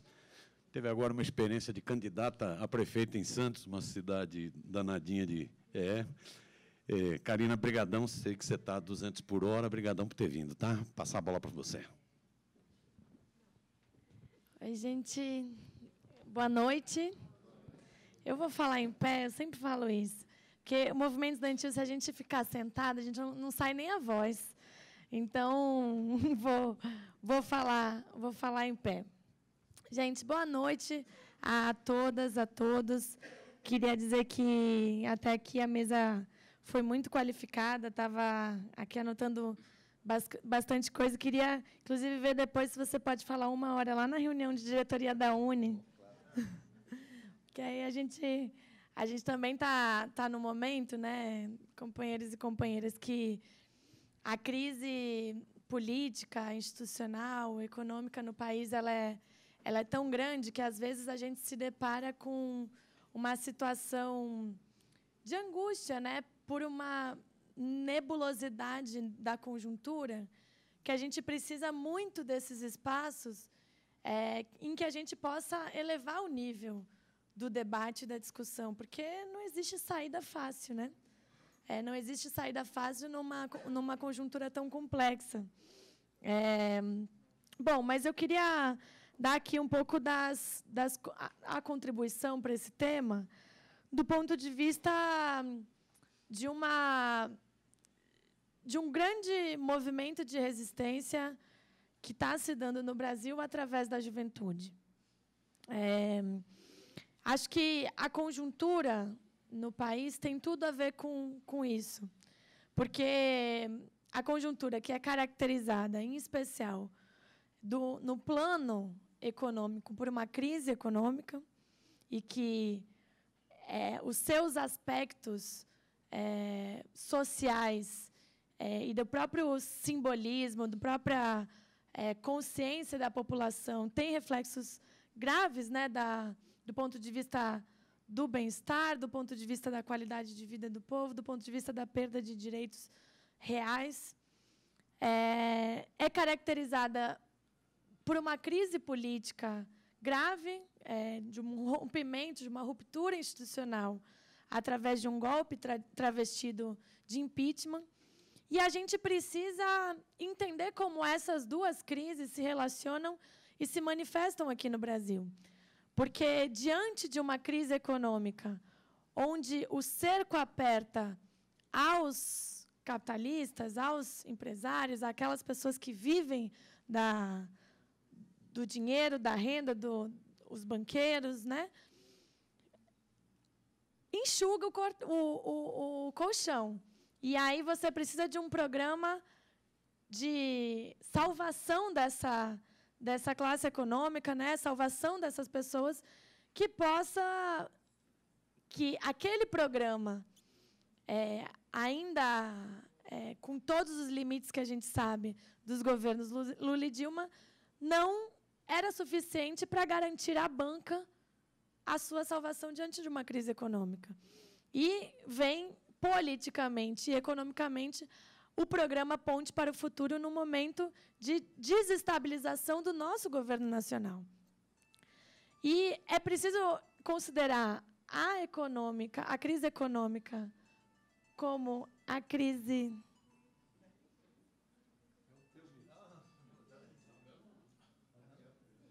Foi?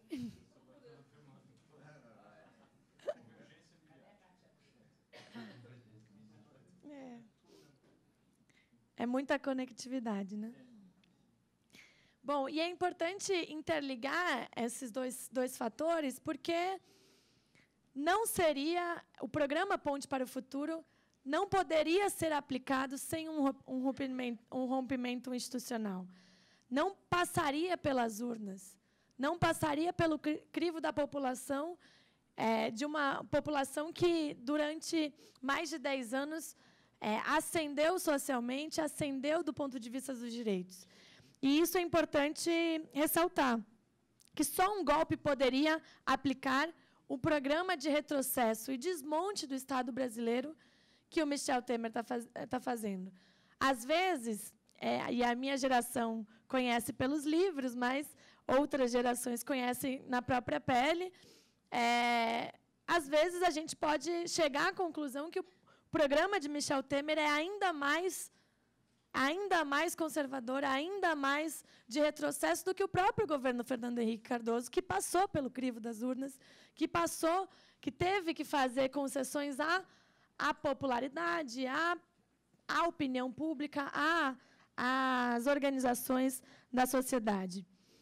E diante disso tudo, de um programa de retrocessos, eles sabem que, contraditoriamente, apesar da derrota do nosso projeto político efetivo através de um golpe, eles sabem que, contraditoriamente, dialeticamente, vai haver resistência. Que, se de um lado eles recrudescem, de outro, vai haver a organização social das mais diversas para resistir a esses retrocessos de forma também muito dura, de forma também muito assertiva. E se existe parte da esquerda que subestima movimento social, a direita não subestima. É, e por isso, tamanha repressão e por isso, tamanha assertividade do ponto de vista do aparato é, incriminatório, do aparato de repressão para com os movimentos sociais. E esse estado de, de exceção. Porque se é verdade que o golpe permitiu a aplicação política e econômica de um programa das elites no país, ela, ele também permitiu um estado de exceção, uma relativização das instituições, das regras democráticas, da Constituição, do jogo democrático e do próprio funcionamento do Estado. E aí eu queria falar um pouco é, da experiência. O companheiro do MST é, falou aqui é, de forma bastante clara, né, de toda é, a, o incidente, toda é, a campanha é, de, de criminalização que o MST tem vivido e outros movimentos também têm, têm vivido. E a gente precisa organizar uma, essa rede de solidariedade, talvez de forma mais permanente. Se organizar em torno da luta contra a criminalização dos movimentos sociais precisa estar na ordem do dia dos movimentos sociais. Então, é contra a PEC, é contra a MP da reforma do ensino médio e contra a criminalização dos movimentos sociais. Precisa virar pauta política, porque está na ordem do dia deles e precisa estar na nossa ordem do dia combatê-lo. E aí, é, a mais recente delas é a repressão é, das ocupações. Né? É, as ocupações são basicamente uma geração de jovens empoderada que se levanta contra retrocessos na sua própria vida, na sua própria pele. Ocupações difusas, nem sempre é, uniformes, nem é, espalhadas por todo esse Brasil de dimensões é, continentais, que com forte é, característica é, de uma geração que fala por si, que fala pelos seus, né, a, o que a gente costuma dizer nós por nós, é, mas que significa o empoderamento muito forte. De um novo sujeito social da nossa, da nossa sociedade, que é uma geração empoderada na luta nos direitos, uma geração que viu o Brasil mudar e, portanto, acredita na mudança, uma geração que, que aprendeu que suas lutas e seus novos métodos de luta fazem valer a pena. Às vezes negando, sim, outras formas, às vezes não negando outras formas. Então, ao mesmo tempo que você tem a ocupação como uma nova expressão do movimento estudantil brasileiro, você tem a Assembleia para deliberar a ocupação, que é a forma mais antiga do movimento estudantil se reunir e mais democrática do movimento estudantil se reunir. Então, contraditoriamente, é o novo e o antigo movimento estudantil ali presente, ali vivo. Para quem subestimava, né, como diz a, a palavra de ordem do movimento estudantil, quem disse que sumiu, aqui está presente o movimento estudantil. E essa é uma palavra de ordem que ecoa nas ocupações. E por que reprimir as ocupações, sejam elas é, secundaristas, que são a maior parte delas, até pelo levante é, da é, secundarista que aconteceu aqui em São Paulo e, e, que bebeu de fontes como as revoltas dos pinguins é, latino-americanas, do movimento estudantil dito tradicional, e que é, seja as, as ocupações universitárias é, que têm sido também muito interessantes. Porque se as ocupações secundaristas têm a tem a, a vantagem de ser encantadoras pela sua composição social, pela sua é, faixa etária né, da, dos seus lutadores, dos seus articuladores, de uma renovação muito forte da política, da forma de fazer política. Por outro lado, na universidade, você tem, fruto exatamente da mudança da universidade, ocupações absolutamente massivas. Quem tem visto as fotos das assembleias de ocupação, na UFPA deu mais de 2.500 pessoas na assembleia.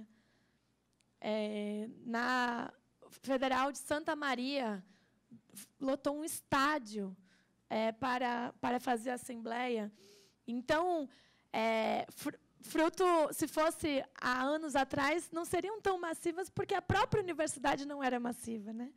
A, a universidade é, hoje triplicou, quadruplicou, e esse novo sujeito social, portador de direitos, é, que acredita na mudança, está na, na universidade, ascendeu à universidade e sabe que esse direito está nas suas mãos, caindo pelos dedos e que não vai abrir mão do seu futuro, o futuro que sonhou, o futuro que sonhou para sua família, é, com todos esses retrocessos. É, a gente tem assistido, e como de novo não é novo, diante de um estado de exceção, você também, o poder do Estado, ele gera ideologia na sociedade, né? Ele gera uma liberalidade para o autoritarismo na sociedade. Porque se o Estado pode, se a polícia pode, por que, que eu não posso pegar um pedaço de pau, já que eu sou organizada no MBL, ir lá na ocupação e impedir que os estudantes ocupem, impedir que os estudantes se organizem, pedir que o direito de fala seja, seja feito. Essa é uma nova realidade no movimento estudantil secundarista e universitário.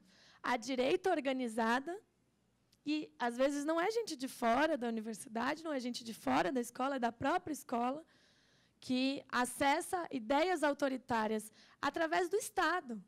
Seja o Estado policial, seja o próprio legislativo, com seus representantes é, da, da polícia, do exército, do, com bolsonaros da vida, seja do próprio executivo, quando tenta criminalizar, quando dá declarações criminalizando esses movimentos. É, e chegou a ponto, por exemplo, dessa liberalidade, dessa relativização das instituições, a ponto de um juiz no, no Distrito Federal é, proferir uma, uma decisão que é, permitia que a polícia também utilizasse de métodos de tortura. Não que isso seja novidade, né? convenhamos. Aquela coisa de você estar tá ocupado na, na escola, ocupado numa reitoria, a reitoria desligar a água, desligar a luz, ou fazer como fizeram na Assembleia Legislativa, com os guerreiros que ficaram ali por mais de uma semana na Assembleia Legislativa, eles faziam o quê? À noite, eles acendiam a luz forte. E de dia, eles colocavam escuro. Então, você imagina adolescentes, jovens, sob uma, uma, uma pressão psicológica de não saber se é dia ou noite, se é hora de comer ou de dormir, se é hora de acordar ou de. Então, você imagina o tamanho da pressão psicológica que essa geração está sofrendo, essa geração de luta. Agora, o juiz ter a ousadia de escrever, de colocar isso no papel, os mais antigos falavam, ó, que está escrito é, é lei, né? O que está escrito é, é essa é a tamanha relativização de um é que compõe esse estado de exceção. E, e recentemente, a declaração do ministro é, que, na, na, no conflito né, sobre o caso do Enem, de que ele vai cobrar das entidades estudantis Uniubes os danos financeiros causados pelo adiamento de parte do Enem. E aí é preciso que a gente consiga disputar, porque nós não temos a grande imprensa, nós precisamos disputar a narrativa sobre o que se foi feito, não só porque, do, do, partindo do pressuposto de que é equivocado criminalizar, seja financeiramente, seja através da polícia, qualquer movimento social, qualquer é, manifestação, agora é preciso, inclusive, politicamente dizer, em alto e bom som, e essa tem sido a tentativa das entidades estudantis de dizer claramente para a sociedade quem foi que adiou o Enem. E eu digo, com toda a certeza, quem adiou o Enem foi o Ministério da Educação, numa, edu numa ação precipitada. Porque uma semana anterior à realização do Enem, foram realizadas o segundo, foi realizado o segundo turno das eleições municipais.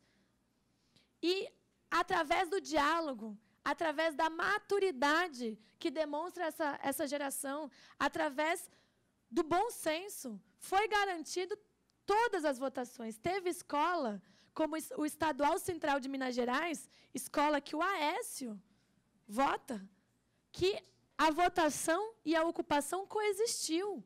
Os estudantes chegaram num acordo mediado pelo TRE e as ocupações, e olha que essa, esse diálogo não é simples, porque não é chama a, a, a entidade estudantil, faz um acordo aqui e, e cumpre-se. Não.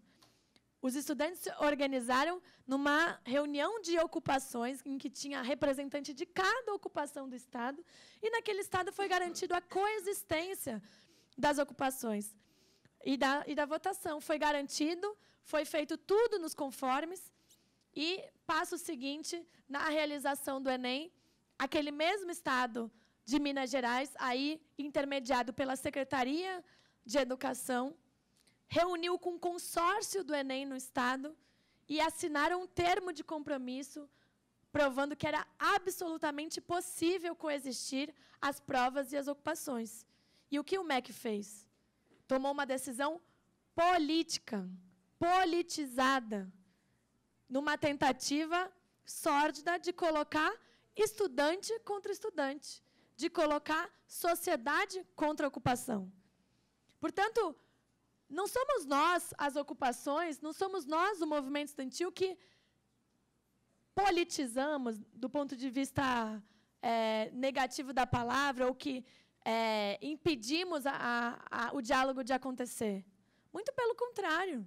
Várias das pessoas que lutam hoje nas escolas são as pessoas que lutaram contra esse golpe, que lutam sim contra Michel Temer, mas que, pela realização do Enem, eram capazes de dialogar com o governo. E nós demonstramos isso. Mas não. Mas não. A, a saída foi imediata, desde o princípio, de ameaçar as ocupações de cancelamento do Enem.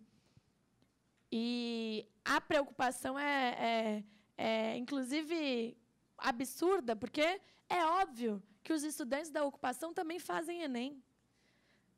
Não só é o interesse maior do que o do governo é, dos estudantes garantirem o Enem, porque, inclusive, pode ser a última é, forma de acesso ao ensino superior que, que nos restou, o último Enem, pode ser, inclusive, o último Enem, porque esse já foi garantido através de créditos suplementares aprovados no Congresso Nacional, e com essa PEC não faz prova para 8 milhões de jovens no Brasil, não faz, não faz seleção única, não faz seleção a 60 reais a inscrição e isenção para baixa renda, não faz. Com essa PEC não faz inclusão social, não faz inclusão no ensino superior. Então, era nossa, era nosso interesse garantir o Enem, e nós é, dissemos isso para Pra, com todas as letras, em todos os manifestos, e nos pusemos a fazer isso. E aí, essa multa agora. É, portanto, precisamos nos organizar para resistir. Porque, diante da, da difusão das ocupações, vai sobrar para as entidades organizadas, que é quem eles conseguem ver, né, quem eles conseguem atingir. E, é, financeiramente, as entidades, por óbvio, quem, quem vê o movimento estudantil secundarista, universitário por aí, a gente viaja é, de ônibus, às vezes sem o dinheiro do lanche, quanto mais vai ter recurso para pagar 15 milhões de reais de multa para a realização do Enem. Então, é, seria um golpe de morte nas entidades estudantis, e isso é, quero contar aqui com o apoio, com a solidariedade, é, como todos os movimentos sociais também vão precisar de uma rede de solidariedade contra essa criminalização. E falar, por último, já para chegando é, para o fim, falar da, da tentativa de instalação da CPI da Uni. Ela foi fruto de uma retaliação do Eduardo Cunha, porque a gente tinha derrotado ele na redução da maioridade penal. Ele volta com a votação. Desde então, veio o golpe, veio a resistência, os estudantes fazendo blitz no Congresso Nacional, pressionando o deputado, fazendo confusão, fazendo manifestação, fazendo acampamento, e surge. É, a, eu, pessoalmente, faço, junto com vários companheiros no Brasil inteiro, uma ação popular pela cassação do Cunha, e, incrivelmente, no dia seguinte, sai é, 200 assinaturas para uma CPI da Uni, é, que tem como objetivo Claro, e aí isso não pode ser subestimado, porque, dentre todas as, as, as discussões e acusações que fundamentam a CPI, uma mais é, inconstitucional que a outra, uma mais fora das competências da Câmara Federal de, de investigar, porque a UNE é uma entidade de interesse público, mas de caráter privado, e o Congresso Nacional não tem competência para investigar fazer devassa numa empresa privada, porque vai fazer numa organização da sociedade civil. Mas o, o, o arcabouço principal, político, ideológico, é a retomada da nossa sede na Praia do Flamengo número 132. E isso tem tudo a ver, mais uma vez, com o estado de exceção, porque foi a primeira ato, o primeiro ato da ditadura militar foi incendiar a sede da União Nacional dos Estudantes. Antecedida pelo quê? por uma a sede da Uni, pouca gente sabe, foi metralhada dias antes por grupos organizados de direita, MBLs da época, né? Os antigos CCC. Ou seja, tinha o seu braço no Estado e tinha o seu braço na sociedade civil que se organizava de forma autoritária. E a nossa sede, que está sendo reconstruída, fruto de uma reparação social do Estado brasileiro, que indenizou a Uni, a Uni é a única entidade de pessoa física que foi indenizada pelo Estado brasileiro, ou seja, anistiada pelo Estado brasileiro e indenizada por danos materiais causados pela ditadura militar. E é essa, esse é o plano de fundo de, uma CPI. É que impeça a inauguração da sede, impeça a reconstrução da sede, impeça a construção da sede, impeça a retomada de um, de uma, de um patrimônio simbólico dos estudantes, que era chamado da casa, é, do, da casa do poder jovem. Então, não subestimemos o, o caráter simbólico da repressão que se faz contra a UNE, contra o MST, contra os partidos políticos, contra as nossas lideranças. Querem, não, não estão satisfeitos em nos derrotar politicamente, nas urnas, ou nos derrotar, nos, nos o poder político do país. Querem nos dizimar, querem acabar com a nossa existência e, por isso, nós vamos precisar resistir. Para isso, para terminar, a última frase que nós precisamos construir uma rede de solidariedade, nós precisamos nos apoiar uns aos outros e nós precisamos cada vez mais fazer lutas amplas. Que aprendamos com os estudantes secundaristas, que conseguem, através de uma luta radical, sim, mais ampla na sua pauta, capaz de conquistar a sociedade em defesa da escola pública. É preciso resgatar o nosso caráter da amplitude, o nosso caráter de dialogar com o povo, porque essas eleições municipais também demonstraram, é, por outro lado, que se é verdade que, do ponto de vista institucional, houve um golpe, é verdade também que mudou, algo está diferente na consciência da população.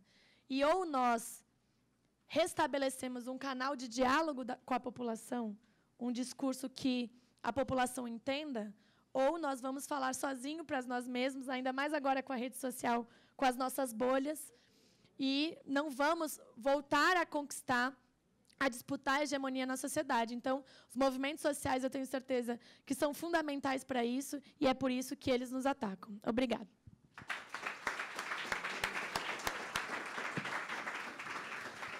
Pessoal, é o seguinte. Primeiro, duas informações boas. Estão assistindo, estava dando 400, é isso? 400 pessoas assistindo ao vivo o debate aqui. Então, além da, que, das pessoas que estão. Está transmitindo pela, pela Perseu Abramo, né, e vários sites também estão transmitindo. Então, 400 pessoas estão nos assistindo aqui e agradecer os internautas. Segundo uma informação boa, a partir da sua propostinha que eu ouvi aqui. Fofoquei aqui com o Serrano, isso, fofoquei aqui com o Serrano e o Serrano topou fazer uma proposta de um curso para a gente fazer aqui no Barão de Tararé sobre esse tema do Estado, Estado de exceção, né, sobre essa onda que nós estamos vivendo. Então, ele ficou de, já passei aqui o, o endereço, ficou de enviar para a gente, e a gente faz isso, possivelmente, no ano que vem, no início do ano que vem. Então, todo mundo que passou aí a lista, quem não preencheu, preencha, vocês serão os primeiros informados da realização desse curso. Tudo bem? Então, é, é isso mesmo, né, Serrano? Não estou falando mentira.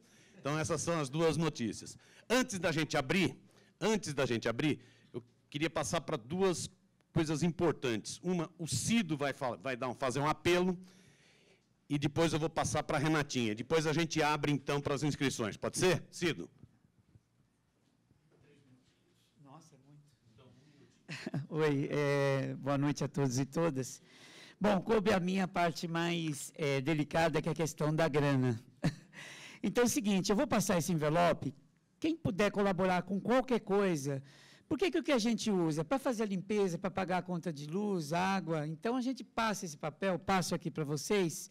Se vocês puderem colaborar, eu agradeceria muito no que puder. Não tem, não tem valor, não tem nada.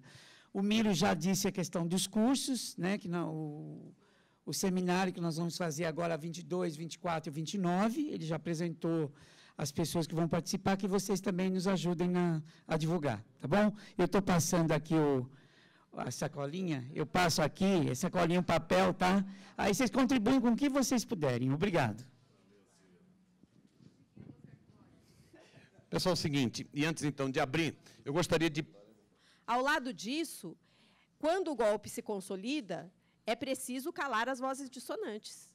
Porque é muito difícil você é, estabelecer, é, impor um estado de exceção com é, a sociedade e veículos e instrumentos é, de manifestação social que contradizem aquele estado de exceção.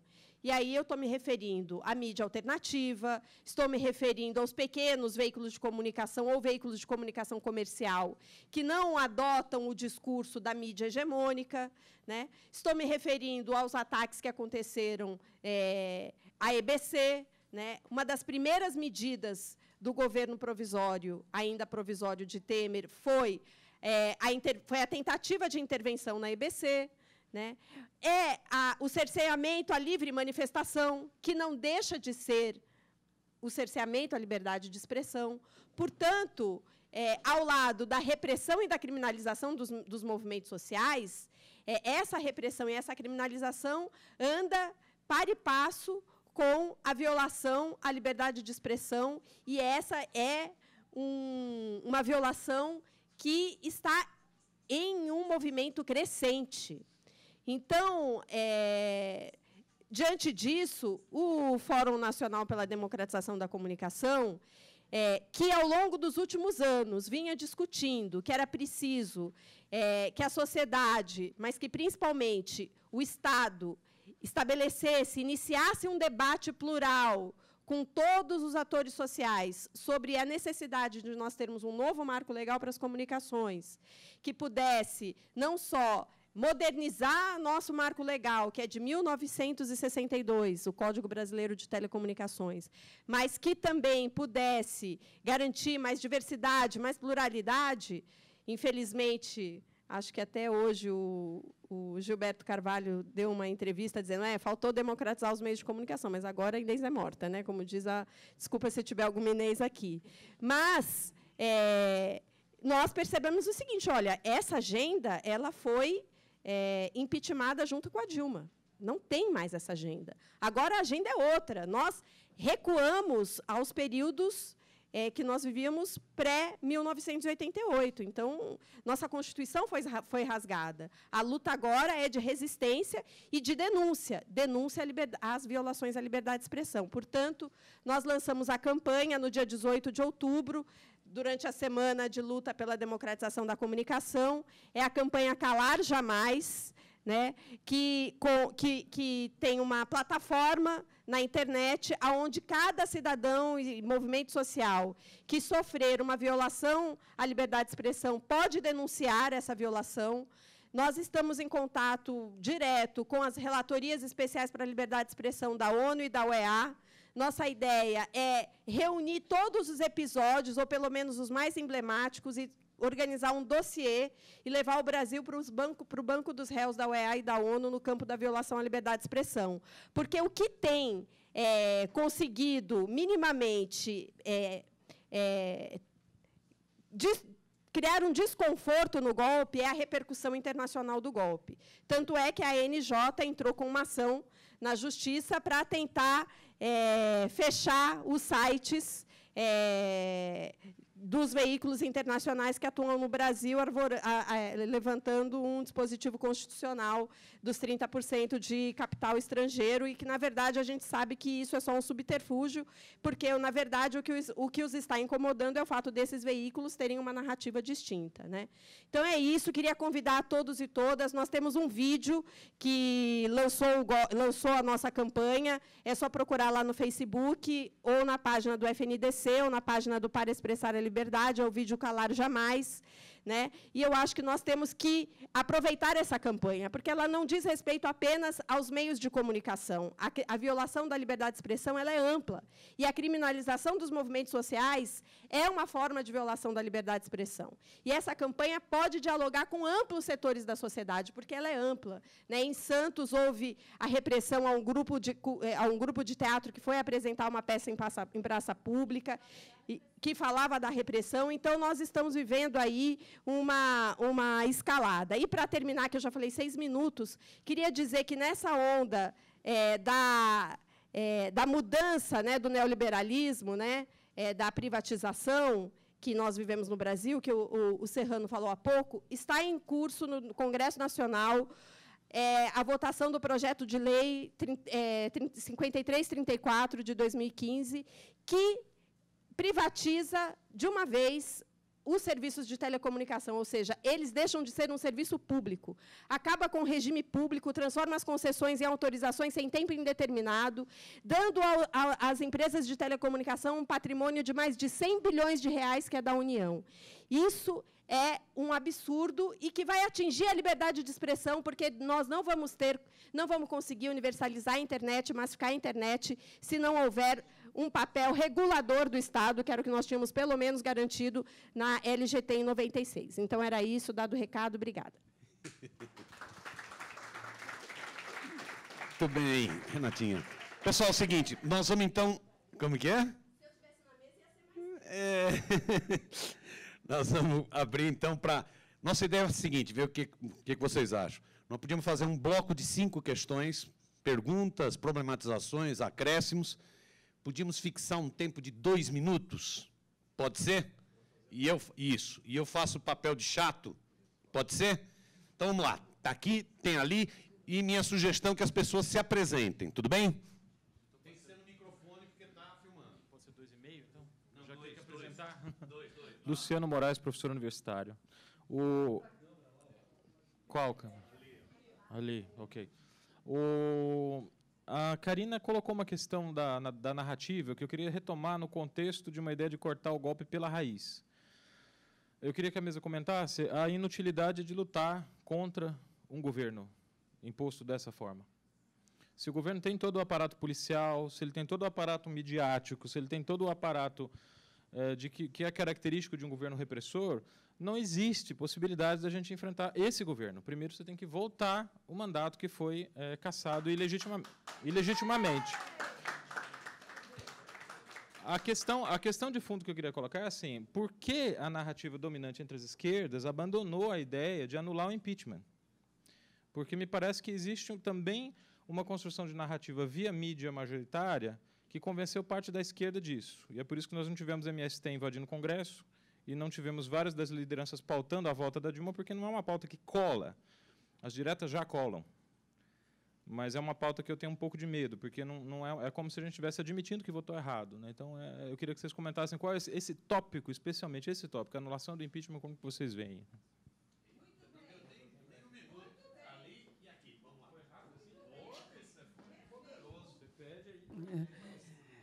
Tudo bom? Raquel, Sindicatos Bancários. É só.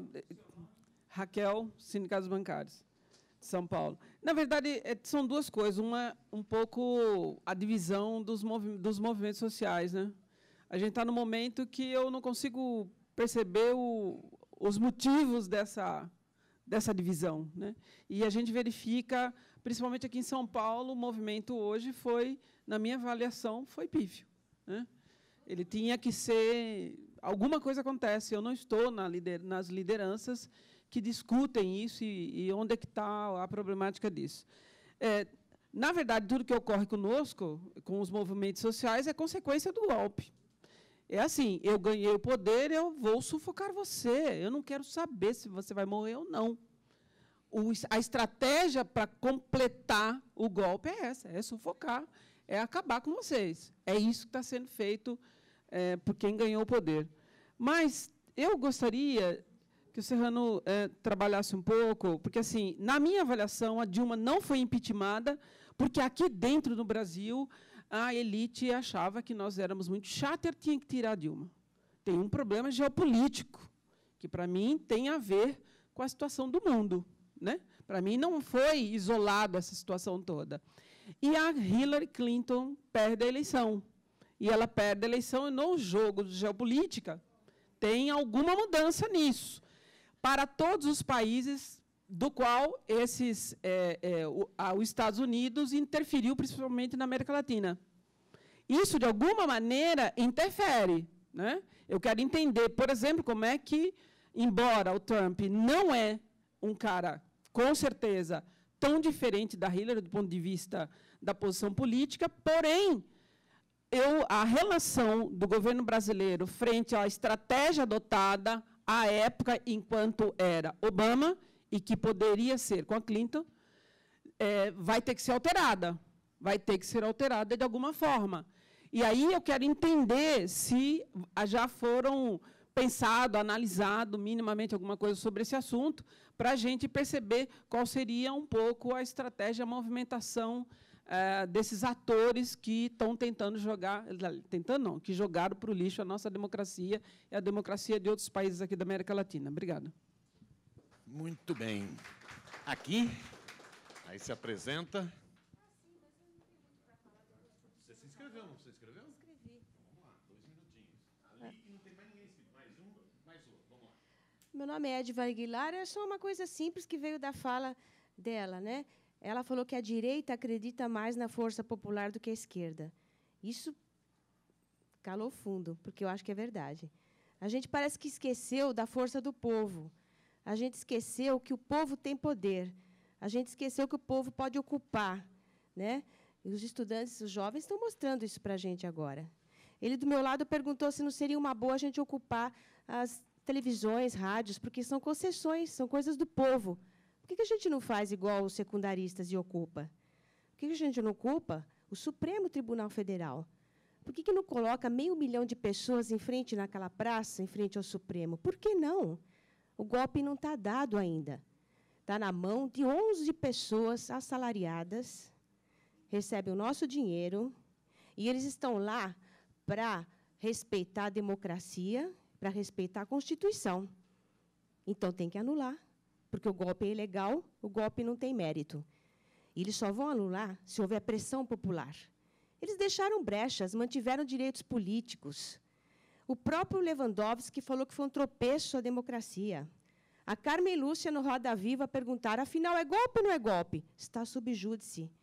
Deus, então o que nós estamos esperando para ir na porta do Supremo e pressionar? Porque se corta o mal pela raiz. Para que, que a gente vai brigar da PEC XYZ, da entrega do pré-sal, rasgar CLT, lutas fragmentadas? Vamos na raiz da coisa. Nós precisamos ter de volta um presidente, vamos falar no masculino para não chocar, que a misoginia é endêmica, na direita e na esquerda. Nós precisamos do, do nosso presidente, que foi retirado do poder, porque ele vai voltar com uma caneta para vetar e vai derrubar todos esses ministros homens golpistas, velhacos, e vai colocar gente que representa o povo. Pronto. Pelo amor de Deus, MST, pelo amor de Deus, UNE, pelo amor de Deus, PT, PSOL, todo mundo, CONTAG, Margaridas, cadê as mulheres? As marchas das Margaridas. Vamos lá para a porta do Supremo. Ah, não, ela é boba, inocente, não sabe que são golpistas. Sou a primeira a saber, acho que até criança sabe. Mas que ridículo para um país, que ridículo para um país, ver acontecer um golpe e o povo não ir na porta do Supremo. Pode não dar em nada, mas pelo menos o povo tem que estar lá na frente. Vamos fazer o nosso papel. Nosso papel é pressionar.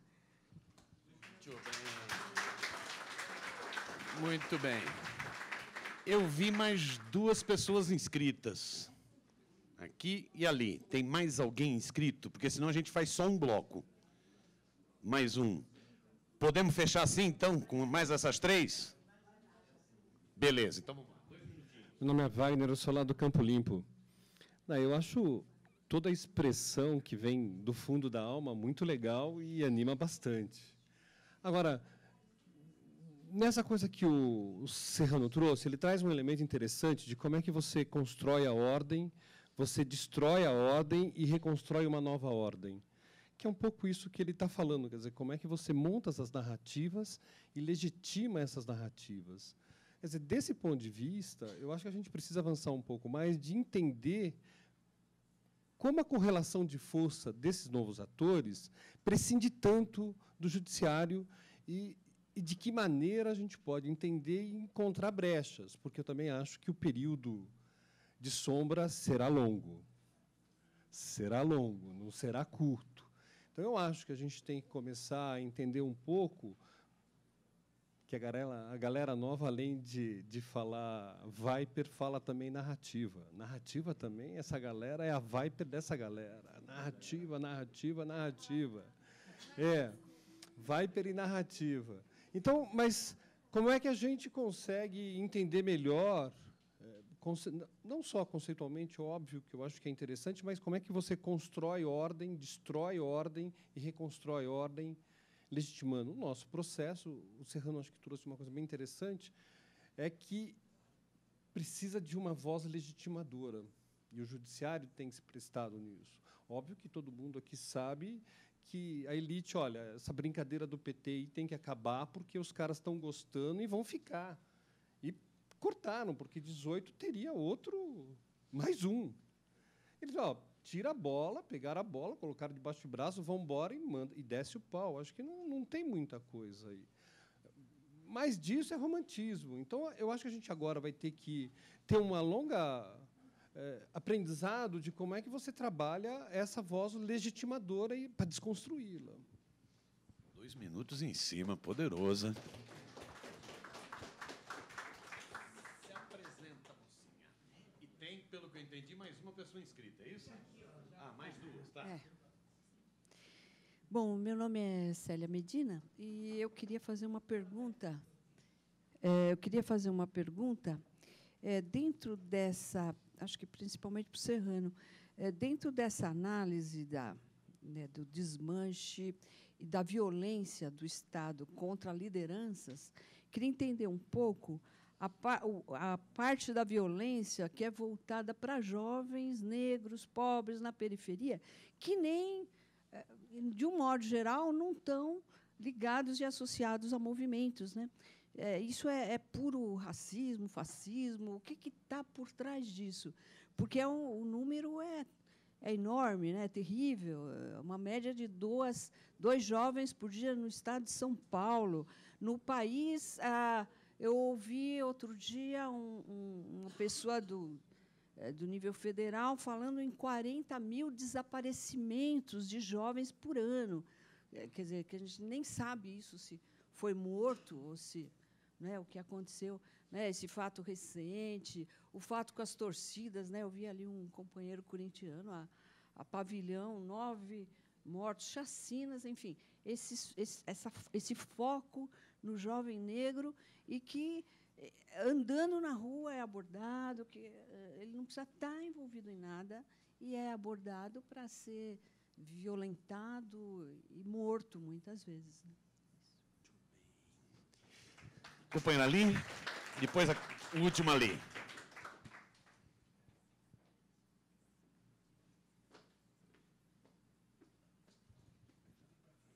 É, eu sou William Osório, mestrando do programa de pós-graduação em Ciência das Artes na Universidade Federal Fluminense, no Rio de Janeiro.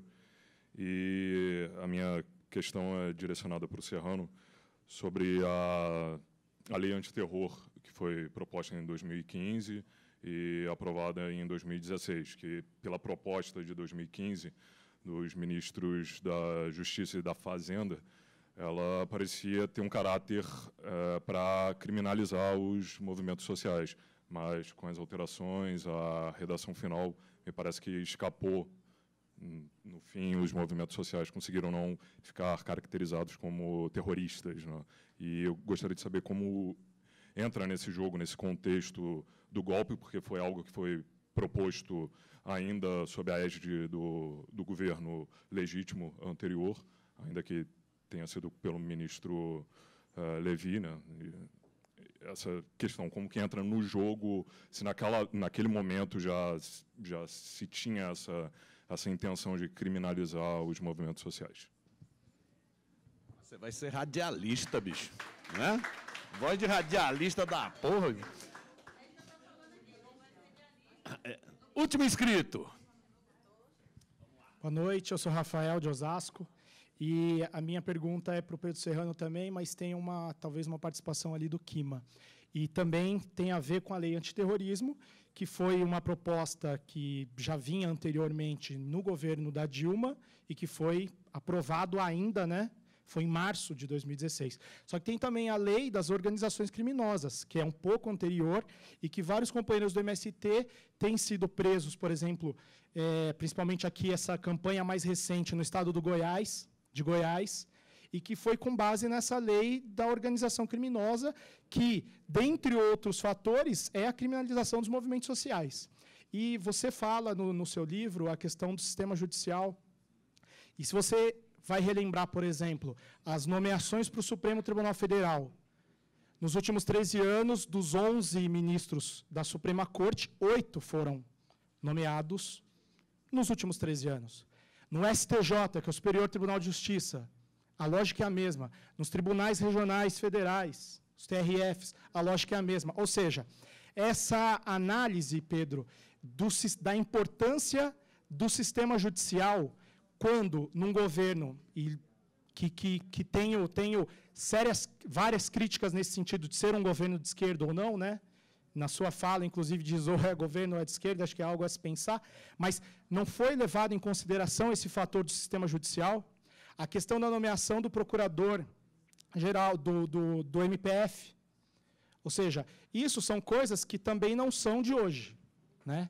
Não são de hoje. No meu, no meu entendimento, não teve um avanço nessas nomeações e numa análise mais clara do sistema judicial, o que poderia é, ocorrer, foi o que acabou ocorrendo, um golpe travestido de legalidade e chancelado pelos órgãos judiciais, dos quais muito foram, foram nomeados pelos três últimos governos. Né? Ou seja, então, quando que essa atuação, que é da política, influenciando no sistema judicial, vai, vai atuar e diretamente criminalizar o movimento social? Um governo progressista também faz isso? Né? Obrigado. Muito bem, valeu. Pessoal, nós vamos voltar para a mesa e depois fechamos. Nós vamos fazer inverso agora. Karina começa, Serrano e Kima. Tudo bem?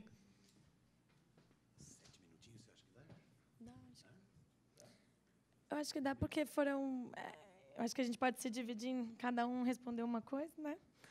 É, bom, acho que eu queria falar assim sobre essa essa pergunta que o, o professor fez sobre se seria inútil lutar contra um governo, já que ele não é legítimo, né? Porque é, já que ele é fruto de um golpe, né?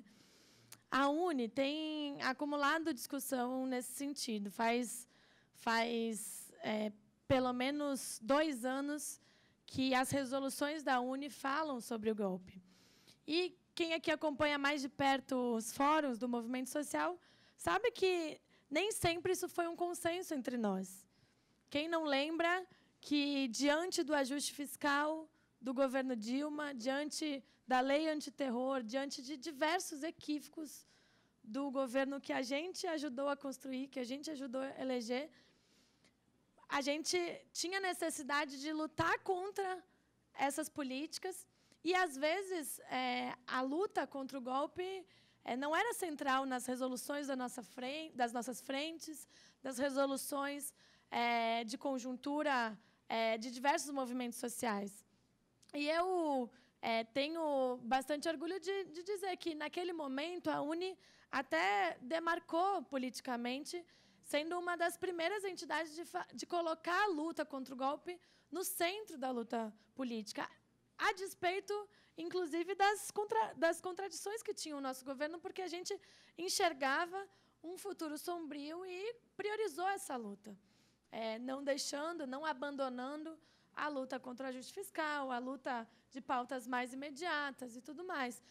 É, naquele período em que o impeachment se intensifica, Eduardo Cunha abre o processo de impeachment da, da presidenta Dilma, fruto daquela chantagem, é, a Uni foi amicus curi na ação é, do, na DPF é, do, do PCdoB é, para o processo de impeachment, para discutir a legitimidade, inclusive o rito do processo de impeachment. Foi aprovado a, a, a entrada da Uni como amicus curiae, além da Uni, foram só os partidos políticos que, a priori, têm direito a ser amicus curiae, a Uni foi a, a única entidade aprovada para falar sobre isso. Foi é, porque até pelo, pela legitimidade é, do outro impeachment. Né? Essa foi a fundamentação para que o nosso amicus curiae fosse aprovado naquele, naquela época e o STF reconheceu a relevância da opinião da Uni para discussão do rito de, do impeachment. Então, eu falo de uma entidade, do ponto de vista da, falo assim da, da nossa organização, de um ponto de vista de uma entidade que nunca subestimou a luta contra o golpe. Mas eu queria aqui fraternalmente dizer que, na nossa opinião, na opinião do movimento estudantil brasileiro, infelizmente, o golpe foi consumado no país. E hoje, a forma que a gente. Posso terminar? Ah, desculpa. É porque senão eu perco, perco a concentração. É, então, o, o, golpe foi consumado no país e, na nossa opinião, a luta, a forma de lutar contra o golpe é revelar esse governo através dos seus retrocessos e conquistar a população que não esteve nas ruas ao nosso lado para defender é, a contrariedade do impeachment, a contrariedade do golpe e não estará ao nosso lado, muito menos, menos, menos, para defender a volta da presidenta Dilma. Quem aqui pediu voto nessas eleições, dialogou com a população, sabe que a nossa batata está assando.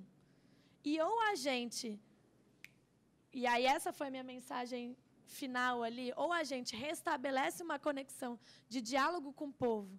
E, na minha opinião, ela passa por discutir as coisas concretas, e por isso a PEC 55 ela é concreta. Por isso a MP do ensino médio ela é concreta. Ela mobiliza, inclusive, uma, uma geração que não pediu volta a Dilma.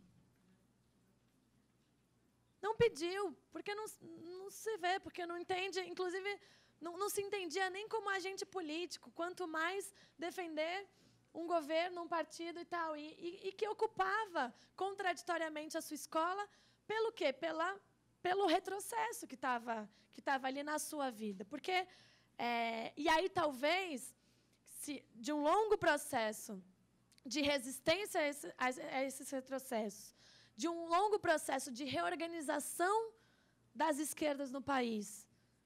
Porque, em algum momento, é, é, e aí eu acho que a gente precisa. Por que, que eu, eu tenho focado muito nessa, nessa discussão sobre a disputa de ideias?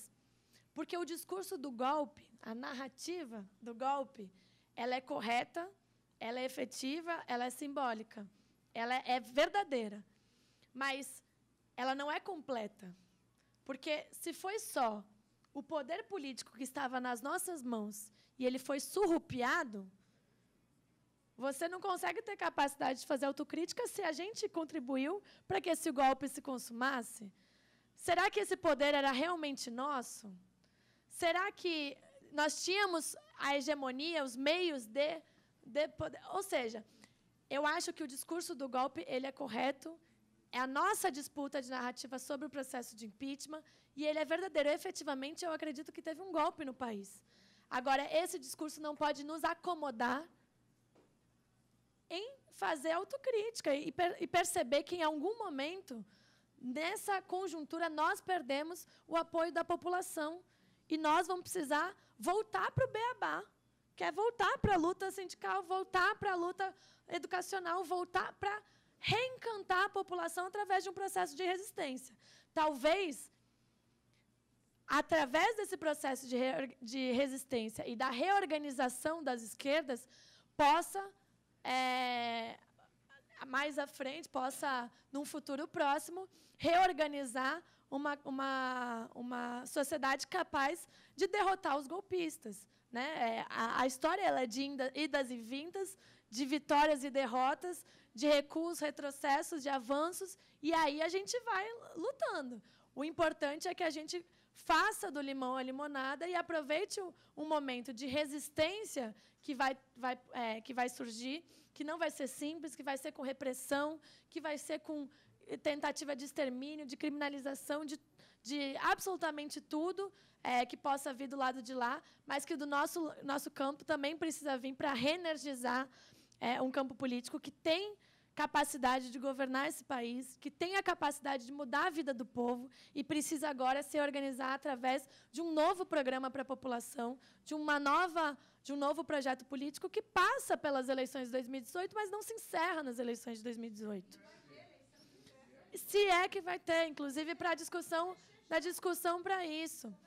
Então, então, que passa por essa, por essa discussão, mas que não se encerra nisso. Portanto, é uma discussão que a gente precisa de reorganizar a tropa para um combate que vai ser duro daqui para frente. Obrigada. Essa é a minha opinião. Eu sei que essa, essa é a minha opinião. Eu sei que existe um movimento organizado que que, é, que diverge dessa dessa opinião, mas eu acho que é de um espaço democrático a gente precisa discutir francamente é, sobre as análises que cada movimento faz. Obrigada. Doutor Serrano. É, eu acho que eu concordo com a Karina, em essência. Eu tenho uma. O Gramsci falava que a gente tem que ficar entre o, o pessimismo da razão e o otimismo da vontade, né, na ação política. Né? Mas eu, eu, também, por outro lado, eu nunca vi ninguém conseguir ser Deus para ficar exatamente no meio. Você sempre vai para um canto. Todo mundo é ser humano, né? Eu tendo mais para o pessimismo da razão. É, meu, é um pouco da minha formação. Eu não, não sou um ativista, não participo de movimento nenhum, então esse, esse, esse otimismo que a vontade traz, eu não consigo ter muito. Então, eu tenho uma visão uh, uh, muito clara. Por exemplo, hoje a, a luta não é mais de esquerda nós, estamos, nós voltamos, nós regredimos na conjuntura, uma luta de resistência contra o fascismo, contra a exceção. E acho que a gente não deve ter como referência, e aí eu vou ser um pouco polêmica aqui, as lideranças dos, últimas, dos últimos tempos. Primeiro, o governo Lula e o governo Dilma, em algum momento a gente vai ter que tratar disso, uh, não foram governos positivos no campo do combate da exceção, foram governos que fortaleceram a exceção. Um pouco porque parcela significativa da esquerda, eu incluo Luiz Dilma nisso, uh, tem uma visão autoritária da relação, por exemplo, com a questão das periferias, com a questão dos presídios. Nada, zero foi feito para melhorar a questão da violência da polícia, zero foi feito para melhorar a questão dos presídios. O governo Fernando Henrique, e eu tenho dados para apresentar nesse sentido, é, é, é constrangedor falar isso aqui, mas eu tenho que falar. O governo Fernando Henrique avançou mais na luta de direitos humanos do que o governo Dilma e Lula juntos. Ou seja, direitos humanos não foi uma pauta, por exemplo, prioritária desses governos. Apesar de ser o grande tema da esquerda no momento em que avança no mundo uma jurisprudência punitiva e estado de exceção, em que se constrói uma ideia de neoliberalismo em torno do aprisionamento em massa.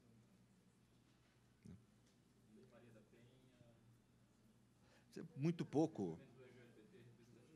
Não, tudo bem. Muito pouco. É, é muito pouco. Isso significa pouco. Eu tô, assim, objetivamente, eu não estou querendo. Eu sou sou da de esquerda, não tenho nenhuma. Votei nele. Sempre votei no PT, desde 18 anos de idade. Não, não é, mas não é isso. Eu tenho que ser objetivo nas coisas. Quer dizer, o avanço que a gente poderia ter feito uh, foi muito pequeno. Lei da Maria da Penha é produto do governo, foi pressionada pelo movimento das mulheres para isso, pelo Ministério Público das Mulheres para fazer isso, pelo Judiciário das Mulheres para fazer isso. Né? O movimento feminista cresceu brutalmente no mundo, é um dos grandes movimentos sociais hoje. Então passou a ter voz. Né? Então é evidente, ele fez isso por pressão, mas assim, iniciativa governamental articulada e intensa de defesa dos direitos humanos não houve. O governo Fernando Henrique fez mais. Ele criou o Comitê Brasileiro de Anistia, ele tratou de querer tratar de uma parte dos problemas do passado.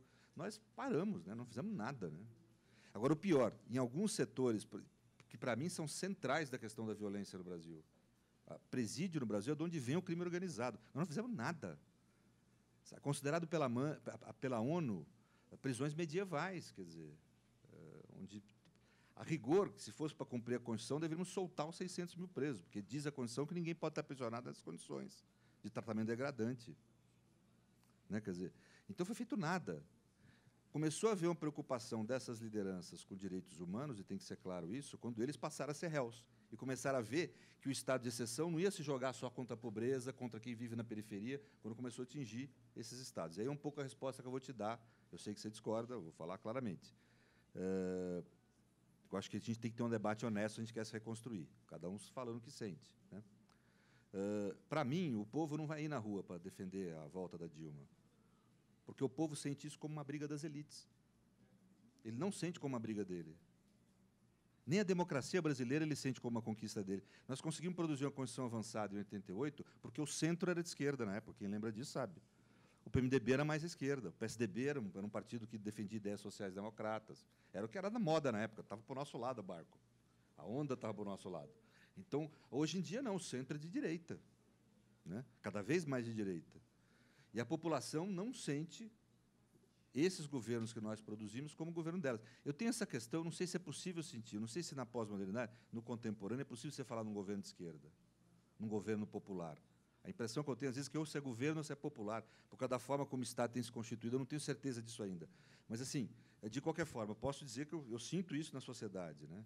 Quer dizer, não há uma sensação de que esses governos foram. É, que é sinal que são governos que devem ser desprezados? Não. A gente tem que brigar. Eu, na minha área, eu fui o primeiro a a sair contra o mensalão, primeiro mesmo.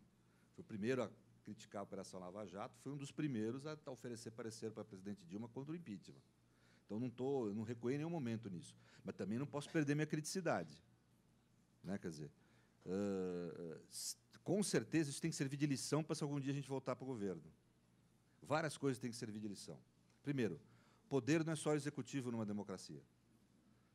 Então, nós temos que ter uma estratégia para o judiciário nós temos que ter uma estratégia para ocupar essas, essas instituições públicas, provavelmente reformá-las para abrir mais elas para a política. Eu acho que isso é uma coisa que eu sempre tive, eu nunca tinha enxergado na vida. Eu trabalho na área e nunca tinha enxergado. Né? Aí comecei a pesquisar os sistemas de jurisdição nos outros países. Nós somos talvez do mundo menos politizado, o único que tem concurso público, carreira estável. Tem que talvez tentar flexibilizar isso, porque você cria um estamento burocrático que ele não é uh, neutro. Ninguém é neutro. Ele é ligado, por, por exemplo, à classe que ele vem, ao segmento social que ele vem, que é muito conservador e tal. Então, acho que tem essas coisas. Nós temos que repensar a política de Estado, não ter só uma política para o executivo. Nós temos que ter claro o que é governo e o que é governo de esquerda. O que é isso no mundo de hoje? Você está falando da Revolução 17, gente, já foi. Né? O que é ser um governo de esquerda nessa conjuntura de hoje? Nós temos que ter claro isso, temos que detalhar, debater, aprofundar. Né? Eu acho que temos que fazer esse momento, aproveitar esse momento de derrota para refletir, né? E acho que tem que assim pensar de como que, que como é que esse movimento de assumir o poder. O poder parece que é incrivelmente afasta, uh, vamos dizer, as lideranças das suas bases populares. A gente está junto com o povo na hora que nós somos oposição. Quando a gente se transforma em governo, a gente se divorcia do povo. Isso parece que é uma tendência histórica né, de todos os governos. A burguesia foi assim também. Né? A burguesia foi assim também quando ascendeu. Quer dizer, e parece que a gente tem entendido. Nós fizemos isso em 17, né, a partir de 17. Quer dizer, a revolução ocorre na União Soviética, cada vez mais ela vai se afastando do povo, né, quer dizer, ao ponto de se divorciar totalmente. Então, uh, uh, isso houve aqui, houve na Europa, nos, nos partidos sociais-democratas, nos partidos socialistas, tal, quando assumiram o poder. Quer dizer, a gente tem esse mecanismo. Será que existe algum mecanismo, e a gente tem que pensar sobre isso, né? É, em alguma medida, acho que Cuba, mas também uh, vai saber, né? Quer dizer, em algumas medidas sim, mas em outra não. Então, eu não sei, quer dizer, é possível, num regime democrático, que mantém as liberdades públicas e os direitos humanos, manter um vínculo entre povo e governo durante o exercício do governo e como que isso se realiza. Né? Em suma, quer dizer, eu acho que gente, são questões para serem refletidas. Acho que na conjuntura, eu acho que o que é viável é a luta antifascista. É denunciar, é fazer o que os meninos estão fazendo nas escolas, e daí, quando vier a repressão do Estado, denunciar a repressão do Estado, é fazer desobediência civil, é transgredir. Né? Ou seja, que não é transgressão, a gente tem que passar isso para a sociedade. Tem um constitucionalista chamado Conrad Hess que ele fala o seguinte: tem uma diferença brutal entre o que o movimento social faz e o que o criminoso faz. O criminoso desobedece à norma. Ele está à margem da sociedade. O movimento social reinterpreta a Constituição. O que nós estamos fazendo quando a gente ocupa uma escola é dizer: existe uma Constituição que garante o direito à educação. O poder instituído não está cumprindo essa Constituição. Então, eu, povo, que sou dono do poder na democracia, sou titular do poder político, eu estou exigindo o cumprimento da Constituição que eu criei. O Estado é meu, não é teu. Você é um gerente, você não é dono. Então, é esse tipo de, de, de postura que a gente tem que ter. Mostrar claramente para a sociedade que democracia universal foi construída por movimento social. A primeira Constituição francesa da Revolução Francesa só deixava votar quem era proprietário ou quem tinha renda. A primeira Constituição americana foi feita para conter legislação nos estados em favor dos pequenos devedores, pequenos proprietários, uma forma de conter os avanços democráticos. Né? Quer dizer, voto para trabalhador foi conquistado pelos movimentos sindicais. Voto para mulher foi conquistado pelos movimentos sufragistas, que estouraram bomba. Não é que foram lá dialogar, conversar, tomar chá com quem estava no. Não, estouraram bomba. Mais de mil presas no, no Reino Unido. Mais de mil pessoas presas, mulheres. Né? Uh, o negro conseguiu efetivar o seu direito a voto nos Estados Unidos através dos movimentos de direitos civis lá. Ou seja, a conquista da democracia universal foi uma conquista dos movimentos sociais, que estavam fazendo o quê? Interpretando a Constituição vigente, os direitos humanos. Né? Então, acho que é isso que a gente tem que, ah, tem que retomar esse tipo de conversa, que era uma conversa anterior a gente ser governo, porque é o que a gente pode fazer, eu acho que na conjuntura, é fazer, construir esse movimento de resistência. Doutor Quima.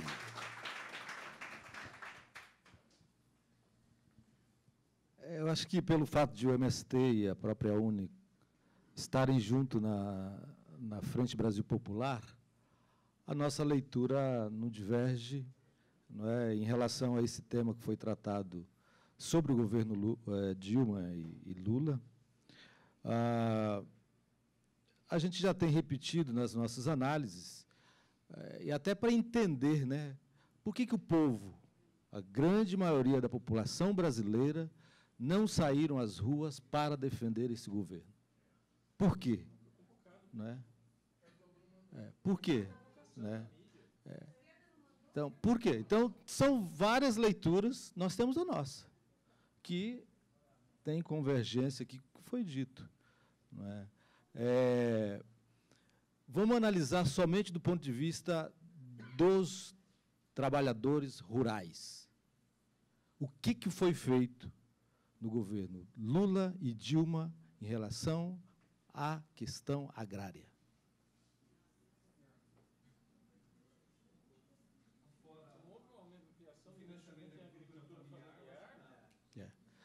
Se você pega o índice de Gini, que mede a concentração fundiária, que é a base, vamos discutir o que é estrutura, vamos discutir o que é estrutura e o que são medidas superficiais, perfumarias.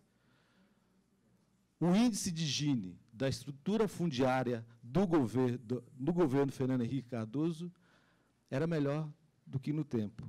Do Lula, é isso. Entendeu? Agora,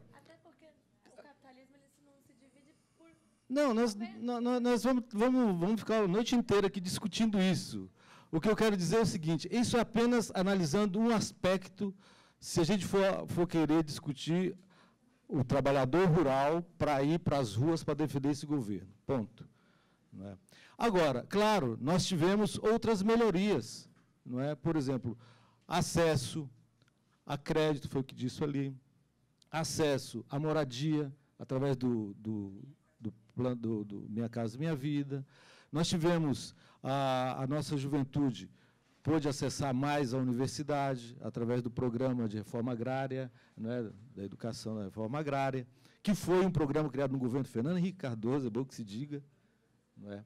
Agora, também, se a gente for analisar, por exemplo, naquele período do governo Fernando Henrique Cardoso, que aí eu acho que o Serrano tem que colocar, inclusive, na, na análise dele, nós sofremos dois grandes massacres de Eldorado dos Carajás e de Corumbiara. Sem contar todo o que foi o governo Lerner. Não é? Enfim, o MST, no período Fernando Henrique Cardoso, se não tivesse um grau de unidade e pelo menos um processo, um uma, uma relação de solidariedade de outros setores da sociedade, teria sido é, extinguido. Porque grande parte da nossa liderança estavam perseguidos, estavam na cadeia, estavam fugidos. As nossas reuniões de direção eram praticamente clandestinas. É? Então, é, isso também fez com que nós tivéssemos, naquele período, um grau maior de unidade dos movimentos populares. Com o governo Lula, isso se fragmentou. Não é? Então, é, é importante porque não são análises simples. Não é? Nós temos que colocar sempre é, alguns elementos para poder, naquele momento era assim, agora foi assim. O fato é que nós, enquanto classes trabalhadoras, fomos derrotados nesse período.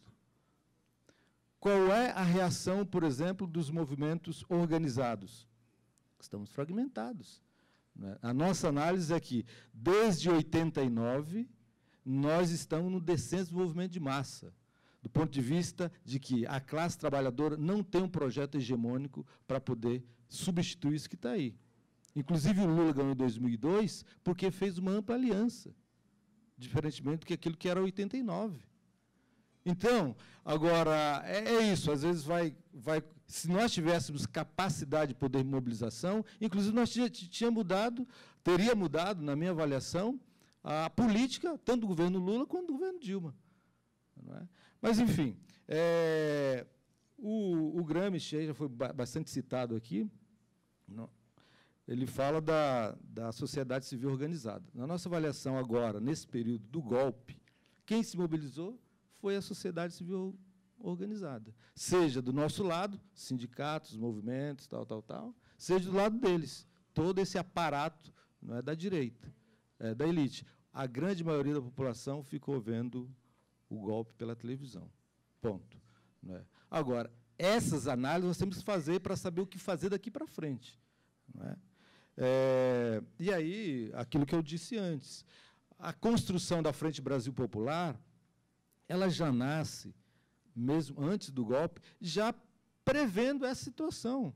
É? E por isso que é, foi o que foi possível organizar do ponto de vista de reação. Foi isso, mais que isso não foi possível. Não é? a, a gente queria ter multidões, milhões na rua, mas a realidade é dura. Né? E nós temos que, que dialogar com ela. É, a outra questão, nós temos é, um setor que, de certa forma, ainda, ainda é, tem as eleições como um fim e não como um, um meio ou um instrumento para que a gente possa fazer as mudanças. Não é? E isso, nesse período eleitoral, por exemplo, é muito difícil dialogar com esses setores. Não é? Enfim, então são, são é, uma variedade de, de, elementos que é preciso colocar para a gente, pelo menos, ter é, algumas indicações do que fazer daqui para frente. Nós estamos convencidos, se nós não tivermos um projeto para debater esse país, do que, que nós queremos, é, nós não vamos conseguir vencer essa etapa. É fácil? Não é, é complicado. Não é? Mas nós temos que ter algo que possa aglutinar. Pode ser que não reunamos todo mundo? Pode ser. Mas, pelo menos, algo palpável. A gente precisa pensar mais lá na frente. Não é? Pensar além de 2018.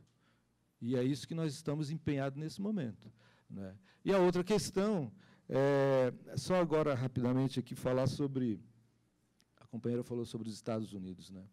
A gente viu aí as reações nas redes, né? todo mundo achando que o mundo ia acabar. É, entre republicanos e democratas, é entre Coca-Cola e Pepsi. Não é? Se nós analisarmos os últimos, as últimas décadas, quem fez a guerra do Vietnã foram governos democratas. Quem fez a invasão de Cuba foi o governo democratas. Enfim, as grandes maiorias da, das invasões foi feita por esse governo democrata que tentam passar que é um governo mais é, maleável, enfim. Mas é, são, é, é tudo direita. E nós temos que entender o seguinte: é importante que, a partir do momento que o Trump ganhou as eleições, isso pode ser um fator importante de contradição para uma população que já são mais de 40 milhões de pessoas que estão passando fome, sem tetos, não é? essas repressões aos negros nada mais é do que um processo de ebulição social que está havendo nos Estados Unidos. Né? Então, isso pode ser um, um princípio, ou seja, pode ajudar a, a avançar ou a, a, exacerbar essa contradição. Né? Mais que isso, eu acho que o Departamento de Estados é quem determina toda a política externa dos Estados Unidos, é quem manda. O presidente tem pouco poder ali, porque tem toda uma estrutura é, que, de fato, é, manda na, na, na política externa e interna. Então, é isso.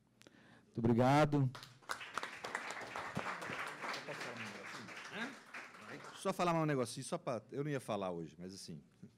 Esses estudos que eu tenho tentado fazer, e a partir de uma leitura do professor Paulo Arantes, lá da USP, só para dizer, a exceção não atinge só a, direita, por isso a gente tem que entender os problemas do governo Lula e Dilma. A exceção é um paradigma, ela para a direita significa adotar o tempo de emergência, a provisoriedade para as questões de segurança, com base nisso, nessa ideia. Preciso manter a segurança da sociedade, do ataque do inimigo, etc. Sempre esse discurso. Preciso reprimir a população pobre, que é bandidos e ameaçam a segurança da sociedade. Para a esquerda, a esquerda atual, por isso que eu falo da dificuldade de falar em governo de esquerda, ela adota também o tempo de emergência. Nós não temos mais projetos de longo prazo, vamos dizer assim, ou estruturais. Nós não criamos direitos sociais no Brasil, é mentira isso, nossos governos. Nós fizemos medidas de emergência social, vamos matar a fome. Em vez de mudar a estrutura da medicina no Brasil, fazer, o, fazer um, um é, então, fazer, em vez de fazer um curso de medicina, por exemplo, no Brasil de quatro anos, popularizar, aumentar o número de, de não, vamos contratar médico de situação de emergência para atender a população. Ou seja, nós adotamos medidas de emergência social. É uma pauta mundial da esquerda hoje em dia, são medidas de emergência social. Não existe mais nem luta por direitos sociais ou luta por revolução. Não existe uma luta de longo prazo. Né? Então, esse, essa lógica da exceção, do tempo da emergência, esse paradigma atinge nós também. O governo Lula e o Dilma foram os maiores exemplos do mundo de governos emergenciais, que promoveram medidas de emergência. Não, mas eu, eu entendo, mas entenda o que isso significa. Significa você abrir mão de uma pauta mais comprometida. Isso te leva ao distanciamento da população. Pessoal, vamos lá. Pessoal, é o seguinte. Vamos lá. Pessoal, é o seguinte. Primeiro, diz um, diz um amigo filósofo cachaceiro que para todos os problemas complexos existem respostas simples. Geralmente estão erradas. Problema complexo exige resposta complexa. Eu acho que esse debate é um pouco isso. É, são temas muito complexos que exigem da gente muita abertura para trocar ideia num tema, né, sabendo trabalhar com essa pluralidade, com essas polêmicas, para a gente avançar mais. Aqui ninguém está, é, é, ninguém aqui se colocou contra a resistência ao golpe. O que nós temos que fazer é ver como que a gente avança para a superação do golpe, tirando lições. Todo mundo. É, é isso. Gostaria de agradecer muito, muitíssimo, Quima do MST, Karina da Uni, Serrano e já com compromisso do Serrano do nosso curso para o ano que vem. Tudo bem? Obrigadão, boa noite, vamos que vamos.